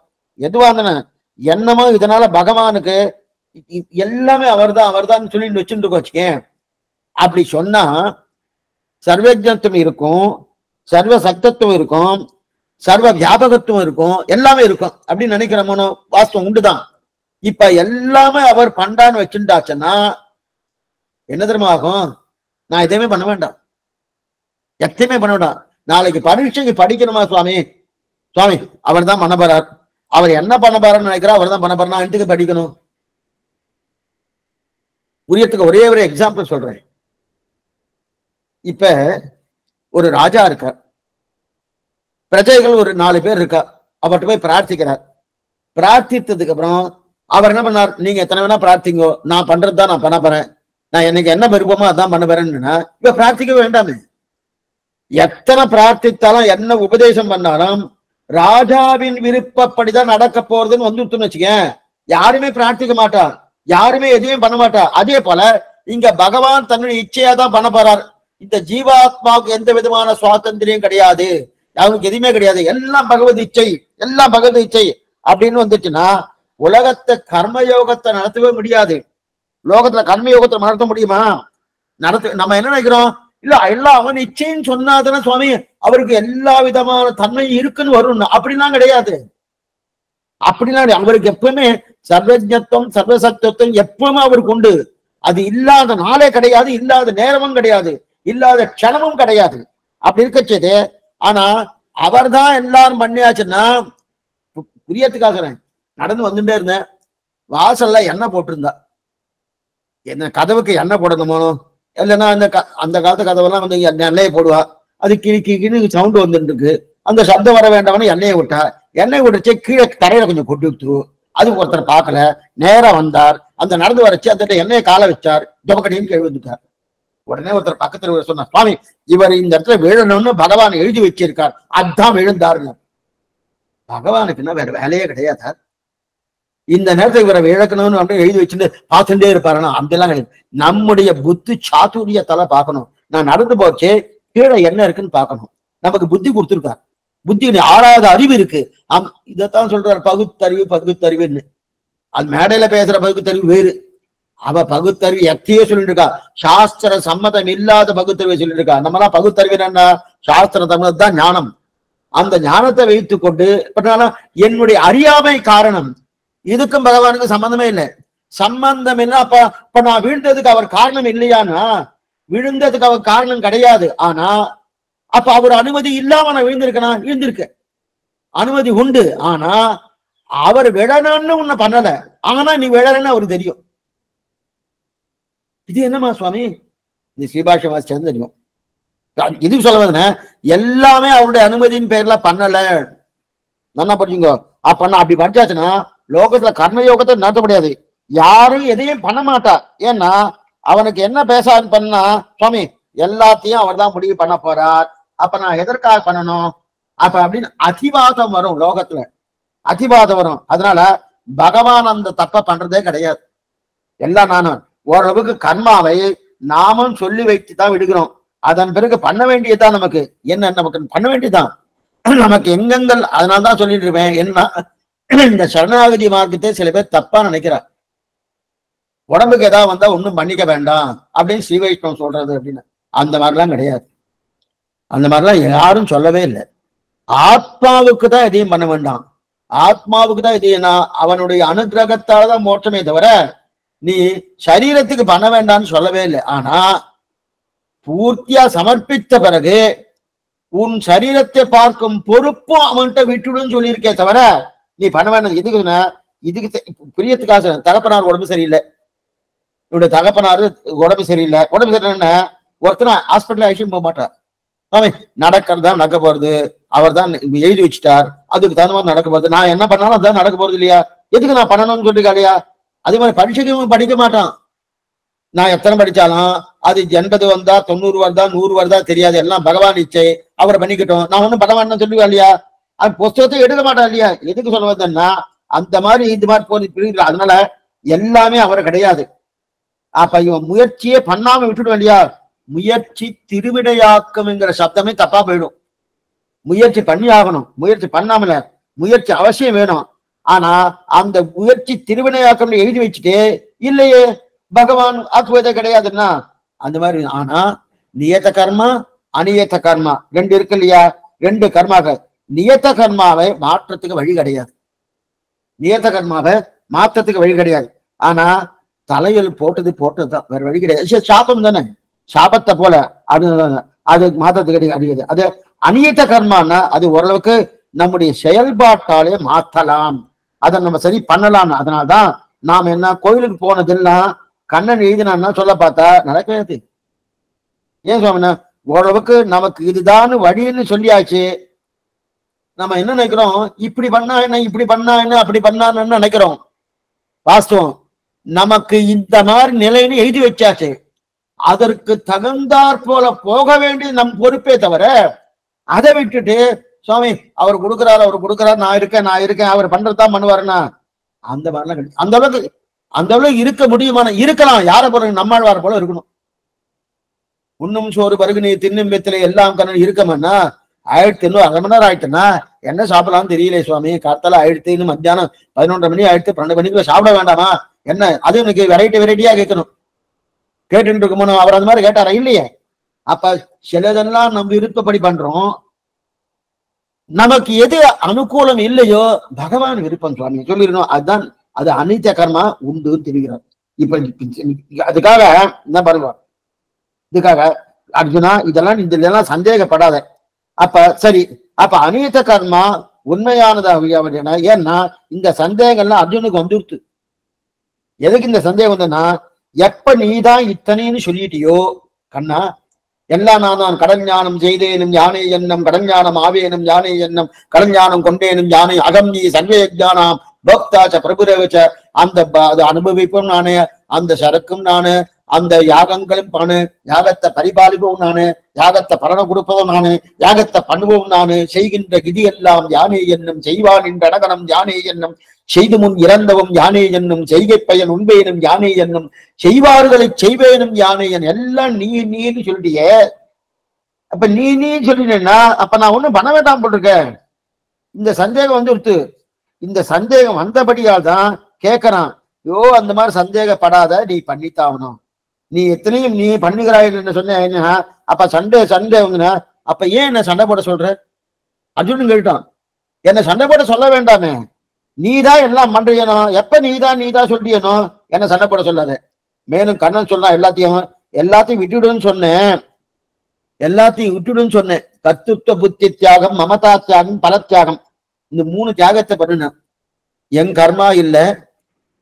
என்னுடைய இது என்னுடைய இந்த- பலத்துக்காக இல்ல. நான் பண்றேன்னு இல்ல. இந்த மூணுமே விட்டுணும் மூணு தியாகம். மூணு தியாகத்தை பண்ணி பண்ணுன்னா இந்த பண்ண தயாரா இருக்கான்னா உடனே என்ன சொன்னா இதெல்லாம் பண்றதுக்கு தயாரா தான் இருக்கேன். அர்ஜுனன் சொல்றான் இதெல்லாம் அடைய ரொம்ப சுருக்கமா சொல்லிட்டு இருக்கேன். இதெல்லாம் பண்ணதுக்கு தயாரா தான் இருக்கேன். ஆனா கர்த்தா நானே இல்லைன்னு சொல்லிட்டேனும் அப்ப எதுக்காக நான் பண்ணணும்? பலன் என்னதுன்னு எதிர்பார்க்காதுன்னு சொல்லிட்டேனும் நான் எதுக்காக பண்ணணும்? நானே அது பண்ணலைன்னு சொல்லின்றியோனோ எதுக்காக நான் பண்ணணும்? பண்ணவே வேண்டாமா என்ன? இந்த கேள்வி கேட்டா என்னன்னா எப்ப நான் கர்த்தா இல்லையோ அப்ப மூணு தியாகம் பண்றதுக்கு நான் நான் கர்த்தா இல்லைன்னு சொல்லிடலாமே. சுவாமி கர்த்துர்த்த புத்தி தியாகம் மமதா தியாகம் பல தியாகம். நான் கர்த்தா இல்லை இந்த காரியத்துக்கு. நான் இந்த காரியம் பண்ண போறது கிடையாது. ரெண்டாவது இந்த பலத்துக்காக கிடையாது. அப்படின்னு மூணு சொன்னதுக்கு அப்புறம் நான் எதுக்காக பண்ணணும்?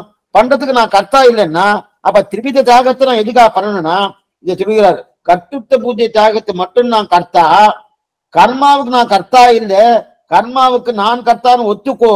என் கர்மா என்னுடைய ஒத்துக்கொள். அப்ப நீ சொல்கிற தியாகத்துக்கு நான் தான் கர்த்தான்னு ஒத்துட்டு தானே ஆகணும். ஏன் சொல்றேன்னா கர்த்தா நான் இல்லைன்னாலே பண்ணவே வரேன்னு தோணாது. இப்ப காலட்சுமி நீங்க கேட்கிறேன் ஏதோ ஆனந்தம் கிடைக்கிறது. எல்லாம் அதெல்லாம் ஒண்ணும் கிடைக்காது. கேளுங்க அப்படின்னு நான் யாரு கேட்பேன்? உத்தியோகத்துக்கு போறேன். இந்த சம்பளம் கிடைக்கிறது. இந்த சம்பளம் எல்லாம் கிடையாது. போயிட்டு வாங்க உத்தியோகத்துக்கு. நான் யாரு போவா? அந்த மாதிரி இருக்கணும் இல்ல இல்ல இல்ல. அப்ப கண்ணன் சொல்றான் நீ கர்த்தா நீ இல்லைன்னு சொல்லல. நீ தான் பண்ணணும். நீ தான் பண்ணணும். ஆனா கர்த்தா நீ இல்லைன்னு நினைச்சுக்கோ. புத்தியால் நினைச்சுக்கோ. கர்த்தா நீ இல்லைன்னு செயல்பாட்டால பண்ணாத. கர்த்தா நீ இல்லைன்னு புத்தியால் நினைனாரு அதுதான் முக்கியம். இன்னைக்குமே புத்தி விசேஷம் தான் எல்லாமே. என்ன புத்தின்னா நான் இந்த காரியம் பண்ணிட்டு இருக்கேன். பகவான் சொல்ல பண்ணிட்டு இருக்கேன். நான் இல்லை. ஆனா காரியம் பண்ணுவேன். அந்த செயல்பாடை பண்ணிட்டே இருக்கேன். ஆனா நான் அதுக்கு கர்த்தா இல்லை. அதை நினைச்சுக்கோன்னு சொன்னார் தவிர இந்த செயல்பாட்டுக்கே நீ கர்த்தா இல்லைன்னு நினைக்காதன்னு தெரிவிக்கிறாளே. இதுக்கு சொல்ல வந்தனா கர்த்தா இல்லைன்னு சொல்ல வரல. நீதான் கர்த்தா. ஆனால் கர்த்தா இப்ப நீ நினைச்சுக்கணும் என்னன்னா நீ கட்டுத்த தியாகம் பண்ணுமே தவிர செயல்களில் கட்டுத்த தியாகம் பண்ண சொல்லவில்லை. செயல்பாடு கிடையாது. செயல்பாடு செய்துதான் ஆகணும். ஆனால் நினைவுதான் கர்த்தா இல்லைன்னு நினைக்கணும். இந்த நினைவின் கர்த்தா நினைக்கணும். இரண்டாவது செயல்பாட்டை நாம் பண்ணித்தான் ஆகணும் ஏன்னா ஒரு காரியம் பண்ணணும்னால அஞ்சு பேர் இருந்தாகணும். ஒரு காரியம் பண்ணணும்னு சொன்னாலே குறைஞ்சபட்சம் அஞ்சு பேர் இருந்தாலும் அஞ்சு பேர் இருந்துதான் காரியம் பண்ண முடியும். அது யார் சுவாமி? தேகம். இந்த சரீரம் சரீரம்னா காரியம் பண்ண முடியாது. அதிஷ்டானம். அதிஷ்டானா இவத்த சங்கல்பம் அந்த அதிஷ்டானம் காரியம் பண்ண முடியாது. பஞ்ச பிராணன்கள் அபானம் உபானம் சமானம் அப்படின்னு பஞ்ச பிராணன்கள். அது இல்லைன்னா காரியம் பண்ண முடியாது. ஆத்மா இருக்கணும். சரீரம் மட்டும் இருந்தா வரும் ஆத்மா இருக்கணும். அது இல்லைன்னா காரியம் பண்ண முடியாது. கடைசியில யாரு? தெய்வம் இருக்கணும். தெய்வ பலம் இல்லாம பண்ண முடியுமா? இந்த அஞ்சு பேர் சேர்ந்தா தான் அந்த காரியமே நடக்கும். அதனால நீ கர்த்தா இல்லைன்னு சொல்றேன். அஞ்சு பேர்ல நீ ஒருத்தர் அர்ஜுனா அஞ்சு பேர்ல நீ ஒருத்தன். அதனால இப்ப அஞ்சு பேர் சேர்ந்தா தான் அந்த காரியம் நடக்கும். அப்ப நீ ஒருத்தனே அந்த காரியத்தை பூர்த்தி பண்றியா? இல்லையே. அதனால நீ கர்த்தா இல்லைன்னு சொன்னேன்னு. அப்ப நான் ஒண்ணு பண்ணேன். அஞ்சு பேர் பண்ணணுமோனோ? அப்ப நான் ஒருத்தன் பண்ணல. நாலு பேர் பண்ணுவாரனோ அவ பண்ணு நான் வச்சுக்கிறேன்? இல்லையே.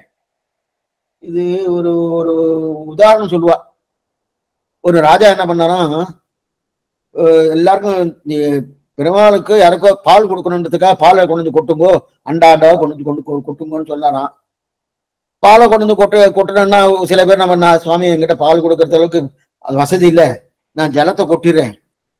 நிறைய பேர் பால் கொட்ட பரவாயில்லையா? அந்த பால் கொட்ட வழியா என் ஜலம் ஒண்ணுமே ஆகாது.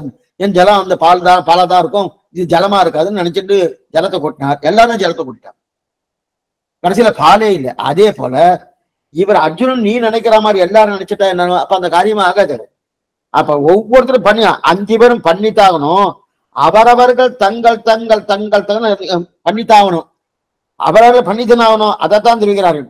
இதுதான் நியத்தம் அநியத்தம். அப்ப இந்த நியத்தமும் அநிநியத்தமும் ஒண்ணுக்கொன்னு முரண்பாடு கிடைக்கான முரண்பாடு கிடையாது. எந்த முரண்பாடும் கிடையாது. இதுல இப்ப இதுக்கு ஜீவாத்மா இந்த இடத்துல பாருங்க. ஆள் இந்த இடத்துல நியத்தம் அந்நியத்தம் ரெண்டு பேருக்கு அந்த ரெண்டுமே முரண்பாடு கிடையாதுன்னு சொன்னேன் இருந்தாலும் உண்மையா பார்த்தா நியமனத்துக்கு உட்பட்டு தான் நமக்கு கடமை இருக்குன்னு நினைச்சுட்டு தான் எல்லா காரியத்தையும் பண்ணணும். எந்த காரியம் வந்தாலும் நம்ம கண்ணை இருந்து நினைச்சுட்டு தான் பண்ணணும். அப்ப இதெல்லாம் நம் முடிவை தான் எதிர்த்தாகணும். அதனால்தான் கண்ணன் சொல்றான். கண்ணன் என்ன சொல்றான்? இல்ல இல்ல இப்ப எதுக்கு சொல்ல வந்தேன்னா கண்ணன் சொன்ன வார்த்தை என்ன? பன்னெண்டு வருஷங்கள் நீ சேர்த்து வைத்த பக்தி கிருஷ்ண பக்தி அந்த ஒண்ணுமில்லாத அந்த தேவதாந்திர முகத்தை சேவிச்சேயானால் அந்த பன்னெண்டு வருஷங்கள் சேவித்து வச்ச கிருஷ்ண பக்தி போயிடுதுன்னார். இப்ப இது இந்த கிருஷ்ண பக்தி போயிடுதுன்னா இல்ல சுவாமி என்னுடைய சாமர்த்தியத்தால நான் கிருஷ்ண பக்திய போகாம பாத்துக்கிறேன் நான் பாத்துக்கோ ஏன்னா இது நியத கர்மாவா அநியத கர்மாவா? இதுக்காக தான் இதை கொண்டு வந்த.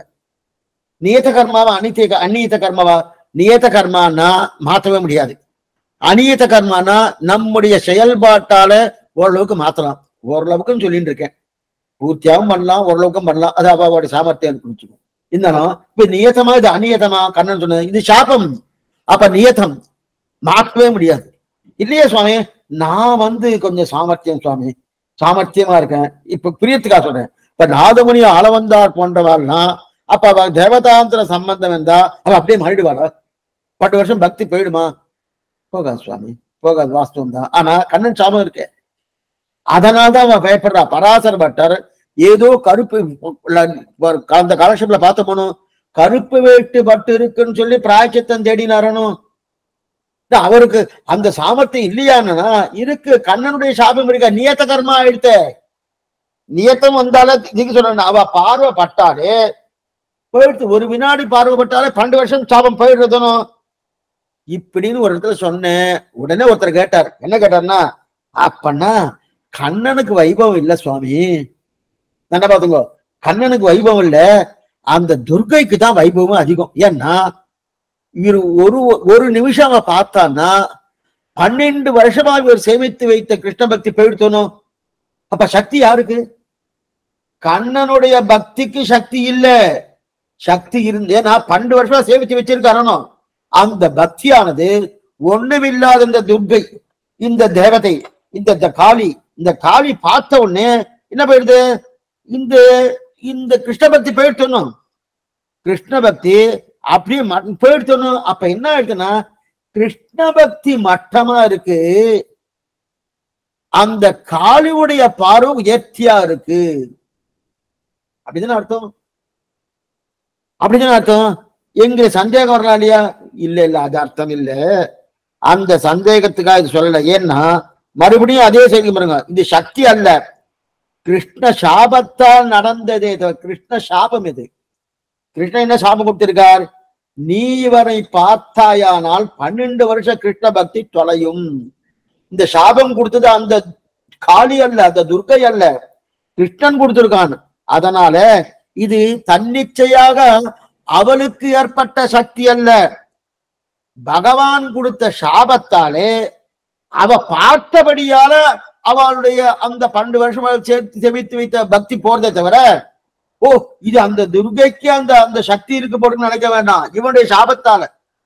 இவருடைய சாபத்தால அது கிடைக்கல. கண்ணுடைய சாபத்தால அவளுக்கு அந்த மாதிரி இருக்கே தவிர அவளுக்கு அந்த சக்தி கிடையாது. இதுக்கு சொன்ன? பக்தி குறைய அதனாலதான் நியத்தம்னு சொன்னால ஜாகிரதையா இருக்கணும். அந்த நியத்துக்கு நியத்தத்துக்காக தான் நாம தேவதாந்திர சம்பந்தம் வேண்டாம் வேண்டாம் வேண்டாம் வேண்டாம் சொல்லுங்க இந்த கதா இந்த விஷயத்த போட்டுக்கிடு. அப்ப இப்படியே பத்தா பத்தாம் பூர்த்தியா கண்ணன் என் விபூதி என் விபூதி என் விபூதின்னு சொன்னார்.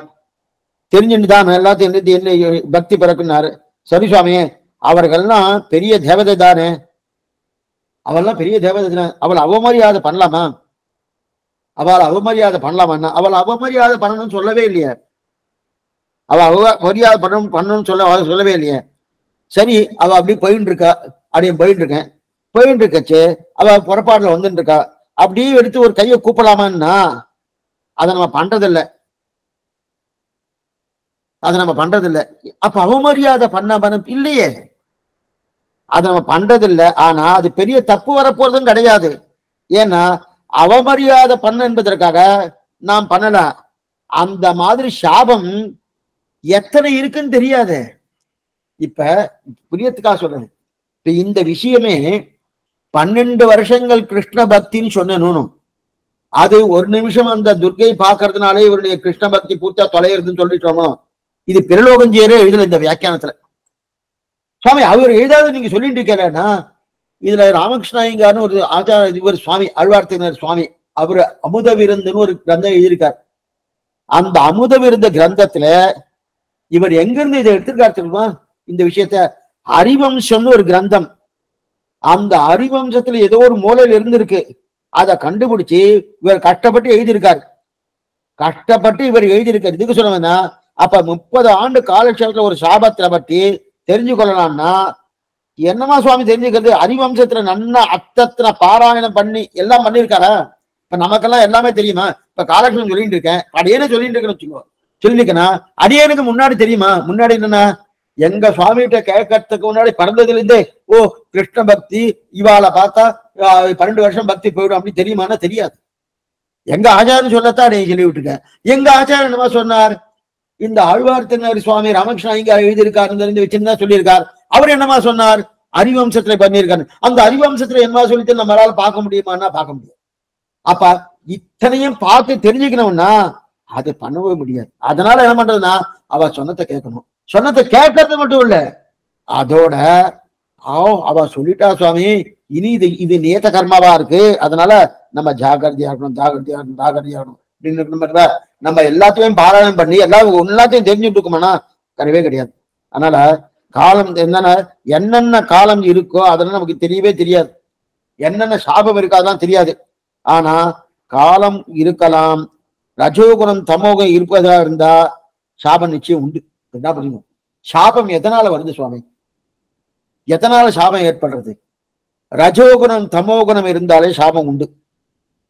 சாபம் நிச்சயம் உண்டு. அப்படி பார்த்தா அனுமானத்தால இன்னும் நிறைய சாபம் இருக்கலாம்.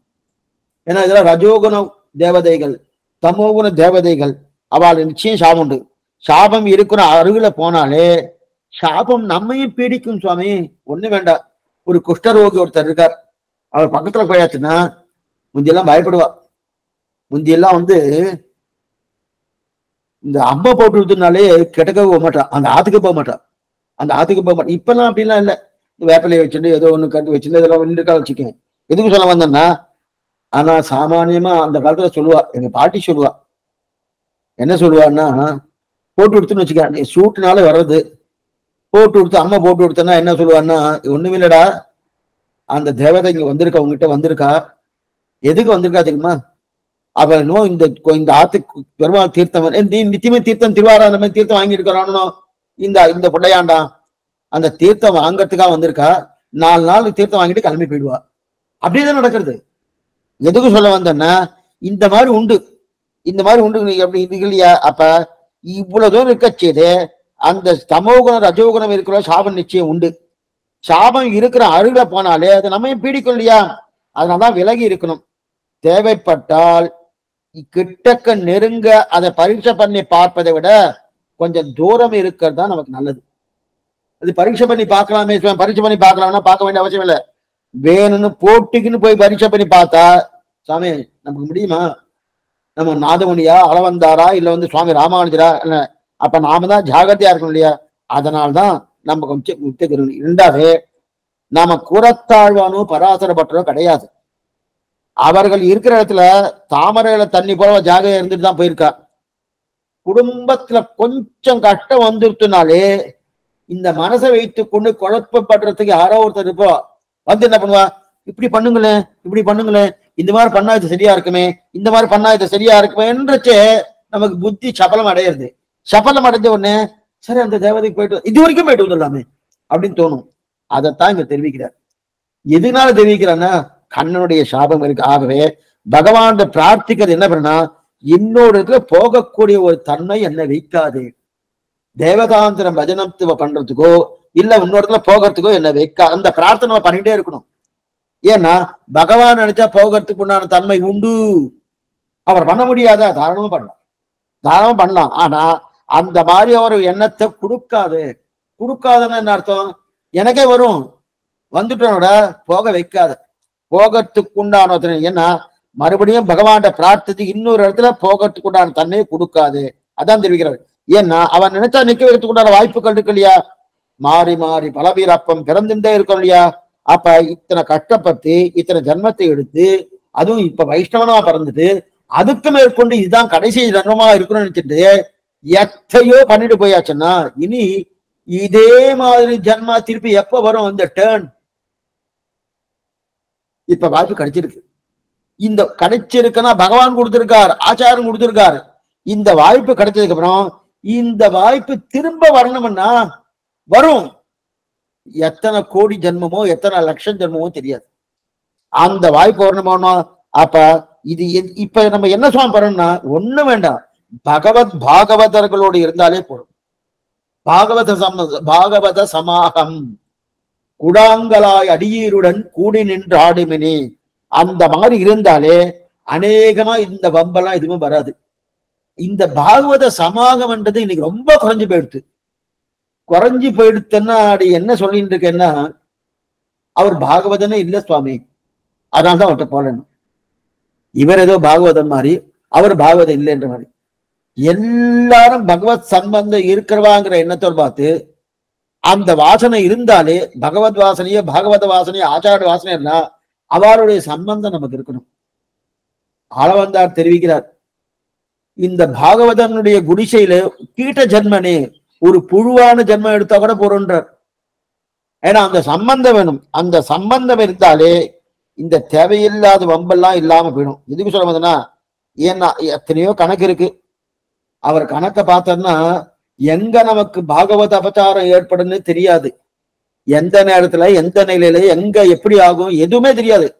ஜாகிரதையா இருந்துட்டு கொடுத்த ஜென்மாவை ஒழுங்கா நன்னா காப்பாத்திண்டு அவனோட திருவிடி பத்தி கொண்டு ஆச்சார கட்டாட்சத்தை வைத்துக் கொண்டு பகவத் அனுகிரகத்தாலே நீ சீக்கிரமா அவனை கூவிக்கொள்ளும் காலம் இன்னும் குறுகாதோ அவனுடைய திருவடி போய் சேர்றது தான் போய் பார்க்கணுமே தவிர அதை விட்டுட்டு இது என்னமா சுவாமி இது என்னமா சுவாமி இது என்னமா சுவாமி இந்த மாதிரி உண்டா இந்த நிறைய விசாரம் பண்றதும் கூடாது தேவதாந்திரத்தை பத்தி. இப்ப அது எல்லாம் சொன்னேன் என்ன இதெல்லாம் என்ன எதுக்கு சொன்னேன்னா இப்ப எல்லாம் சொல்லியிருக்க வேண்டாமே சுவாமின்னா சொல்லலைன்னா யாருக்கு யார் நேருக்கு நாளைக்கு யாராவது சொல்லி இந்த மாதிரிலாம் உங்க உங்க- உங்க காலட்சேப அதிகாரிகள் சொன்னாரா சொல்லலையோனோ இதெல்லாம் இருக்கு பாரு. அப்ப இதான் முக்கியம். வாங்க இங்க வாங்கன்னு சொல்லுவார் இல்லையா? அது இல்லைன்னு சொல்றதுக்காக இது சொல்ல வேண்டிய நிர்பந்தம் வந்துருத்து அதனால இதை இதோட விட்டுடுங்க. இதுக்கு சொல்ல வந்தேன்னா தேவதாந்திர வஜனத்தை பண்றவா பண்ணட்டும். அபாலம் வருவா. அதனால நமக்கு அது நிலை கிடையாது தெரிவிக்கிறார். ஆக கார்த்திகையானம் கரிமுகத்தானம் கனலம் முக்கன் மூர்த்தியும் மோடியும் வெப்பும் முதுகிட்டு மூவுலகம் பூத்தவனே என்று போட்டிட வானன் படை பொறுத்த தீர்த்தனை ஏத்தம். நேத்திக்கு பார்த்தது கடைசியா அங்கிருந்து திரும்பி பகவான்கிட்ட பிரார்த்தனை பண்ணார் ஓ என்ன பிரார்த்தனை மூவுலகும் பூத்தவனே என்று போட்டிட சிவபுரம் பிரார்த்திக்கிறார். இப்ப தெரிஞ்சுட்டேன் இனி அறிந்தேன் ஈசர்க்கும் நான்முகர்க்கும் தெய்வன்னு இனி அறிந்தேன் தெரிஞ்சேன் இத்தனை நாள் தப்பு பண்ணிட்டேன். இப்ப என்னமா அவருக்கு அந்த புத்தி வந்துட்டு? இத்தனை நாள் வரலையா சுவாமி? முதல்ல எதிர்த்து சண்டையிட்டாரணும் இப்ப வரணும் இப்ப கண்ணனை சேவிச்சாரணும் கண்ணனை சேவிச்ச தனச்சிலே என்ன இருக்குன்னா அவருக்கு ஆத்மகுணம் வந்துருட்டு அப்படின்னா சத்துவகுணம் பிறந்தது. சத்துவகுணம் பிறந்து நீதான் புருஷோத்தமன் அப்படின்னு இருக்கிற ஞானம் இப்ப பிறந்தது. எப்ப சத்துவகுணம்னாலே அ- எப்ப வரும் சுவாமி? அடிபட்டதான் வரும். ஏன்னா முதல்லயே பார்த்திருக்காரு. அப்பயே வந்திருக்க வேண்டாமா? நான் அடிபடலையே. எப்ப பட்டா தான் தெரியும் அப்படின்னு ஒரு வாக்கியம் இருக்கணும். யாருக்கோ சொல்லுவா. அந்த மாதிரி இந்த பட்டு சொன்னோம் அடிபட்டதான் வருவான். அதனால இத்தனை நாள் வரலையேன்னா வரல. இத்தனை நாள் என்ன பண்ணார்? சாமானிய வாசுதேவ குமாரன் நினைச்சுட்டார். இப்ப தெரிஞ்சுட்டார். ஓ இப்பதான் தெரியுது. இனி அறிந்தேன் ஈசர்க்கும் நான் முகர்க்கும் தெய்வம் தெரிஞ்சின்றார்.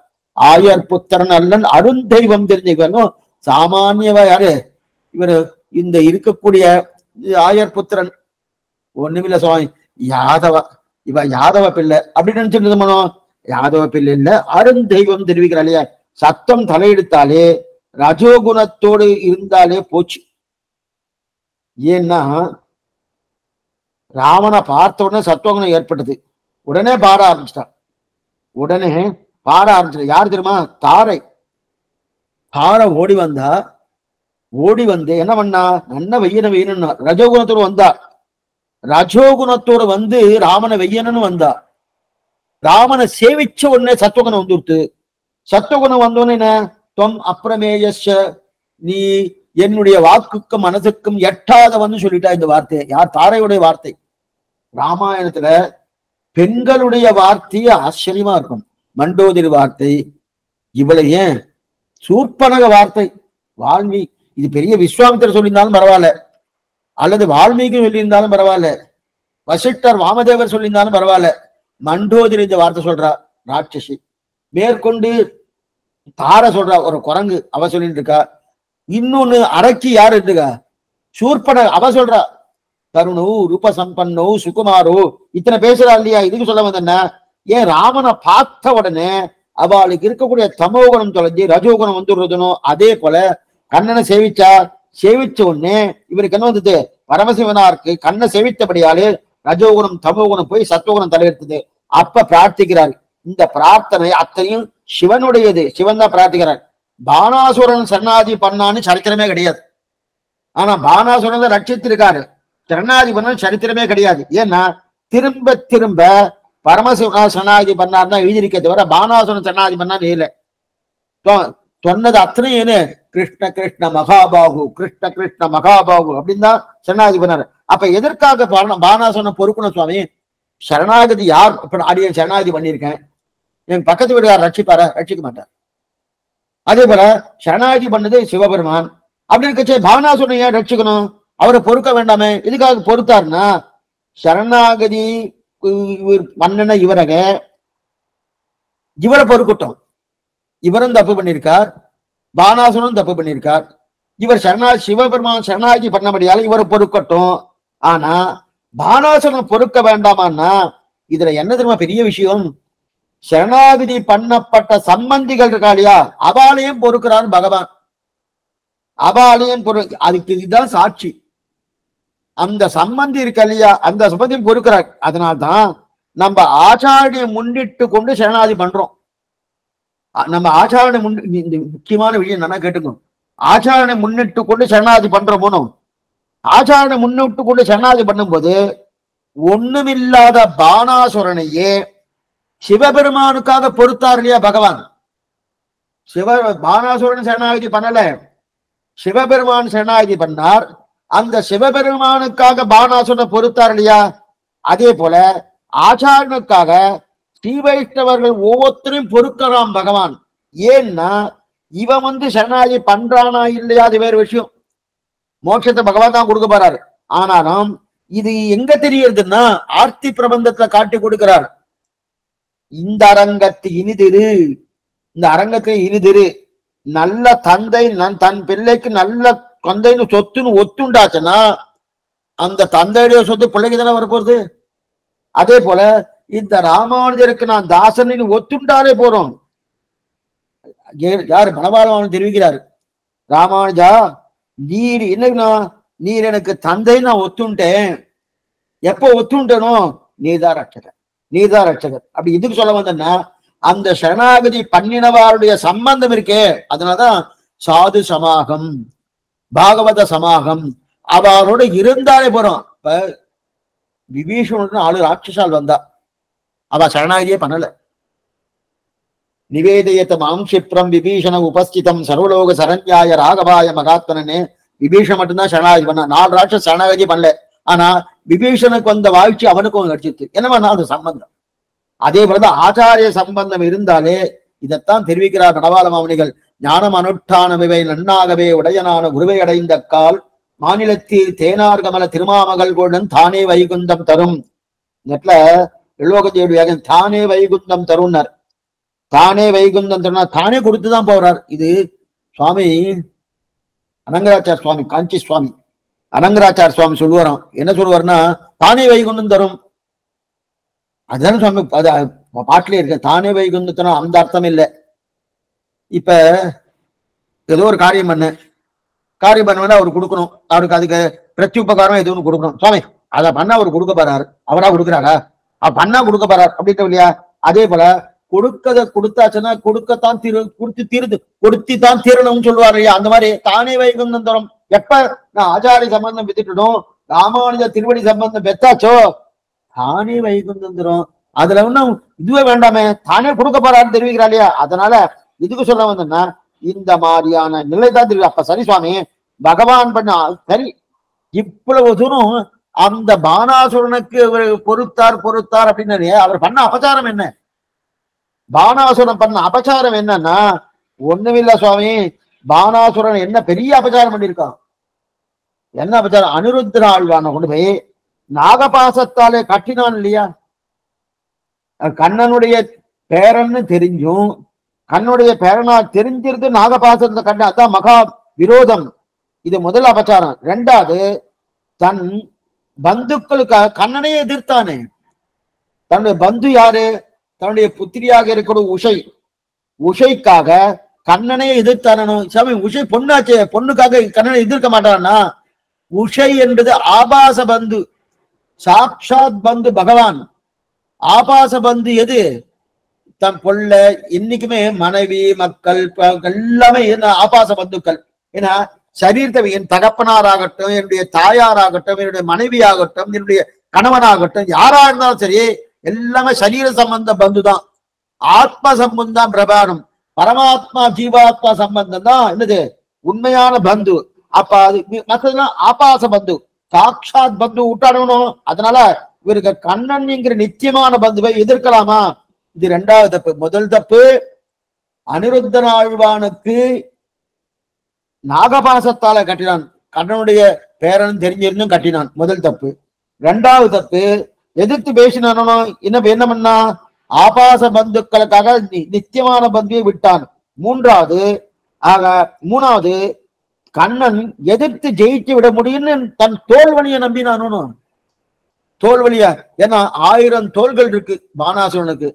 அந்த தோலை நம்பிண்டு கண்ணனை நம்ம ஜெயிச்சிடலாமே. அப்படி நம்பினானா இது மூணு தப்பு. ஆக அந்த மூணு அபராதங்கள் இந்த மூணு அபராதங்கள் பண்ணானா அப்படிப்பட்ட வாணன் பிழை பொறுத்த தீர்த்தன். அப்படிப்பட்ட வானன் பிழை பொறுத்த தீர்த்தன் தீர்த்தன்னா புனிதன். என்ன புனிதன்னா மற்ற பேர் கஷ்டத்தை போக்கு கொடுத்தான். எப்படி போக்கினான்னா அபராதங்களை பண்ணினான்.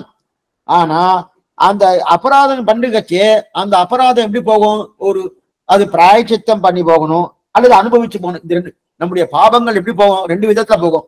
ஒண்ணு பிராயச்சித்தம் பண்ணி போக்கலாம். அல்லது அனுபவிச்சு போக்கலாம். இந்த ரெண்டு விதத்துல தான் போகணும்.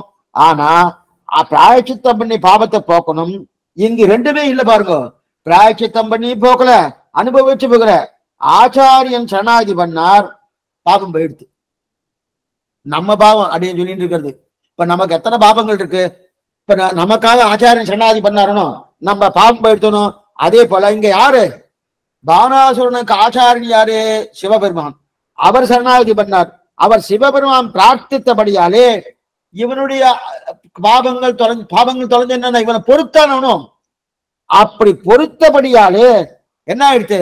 இவனை இன்னும் விட்டு வைத்தான். ஆனா ரெண்டு கை மட்டும்தான் கொல்லவே இல்லை. கொல்லாம தொள்ளாயிரத்தி தொண்ணூத்தி எட்டு கைகளை வெட்டிட்டான்.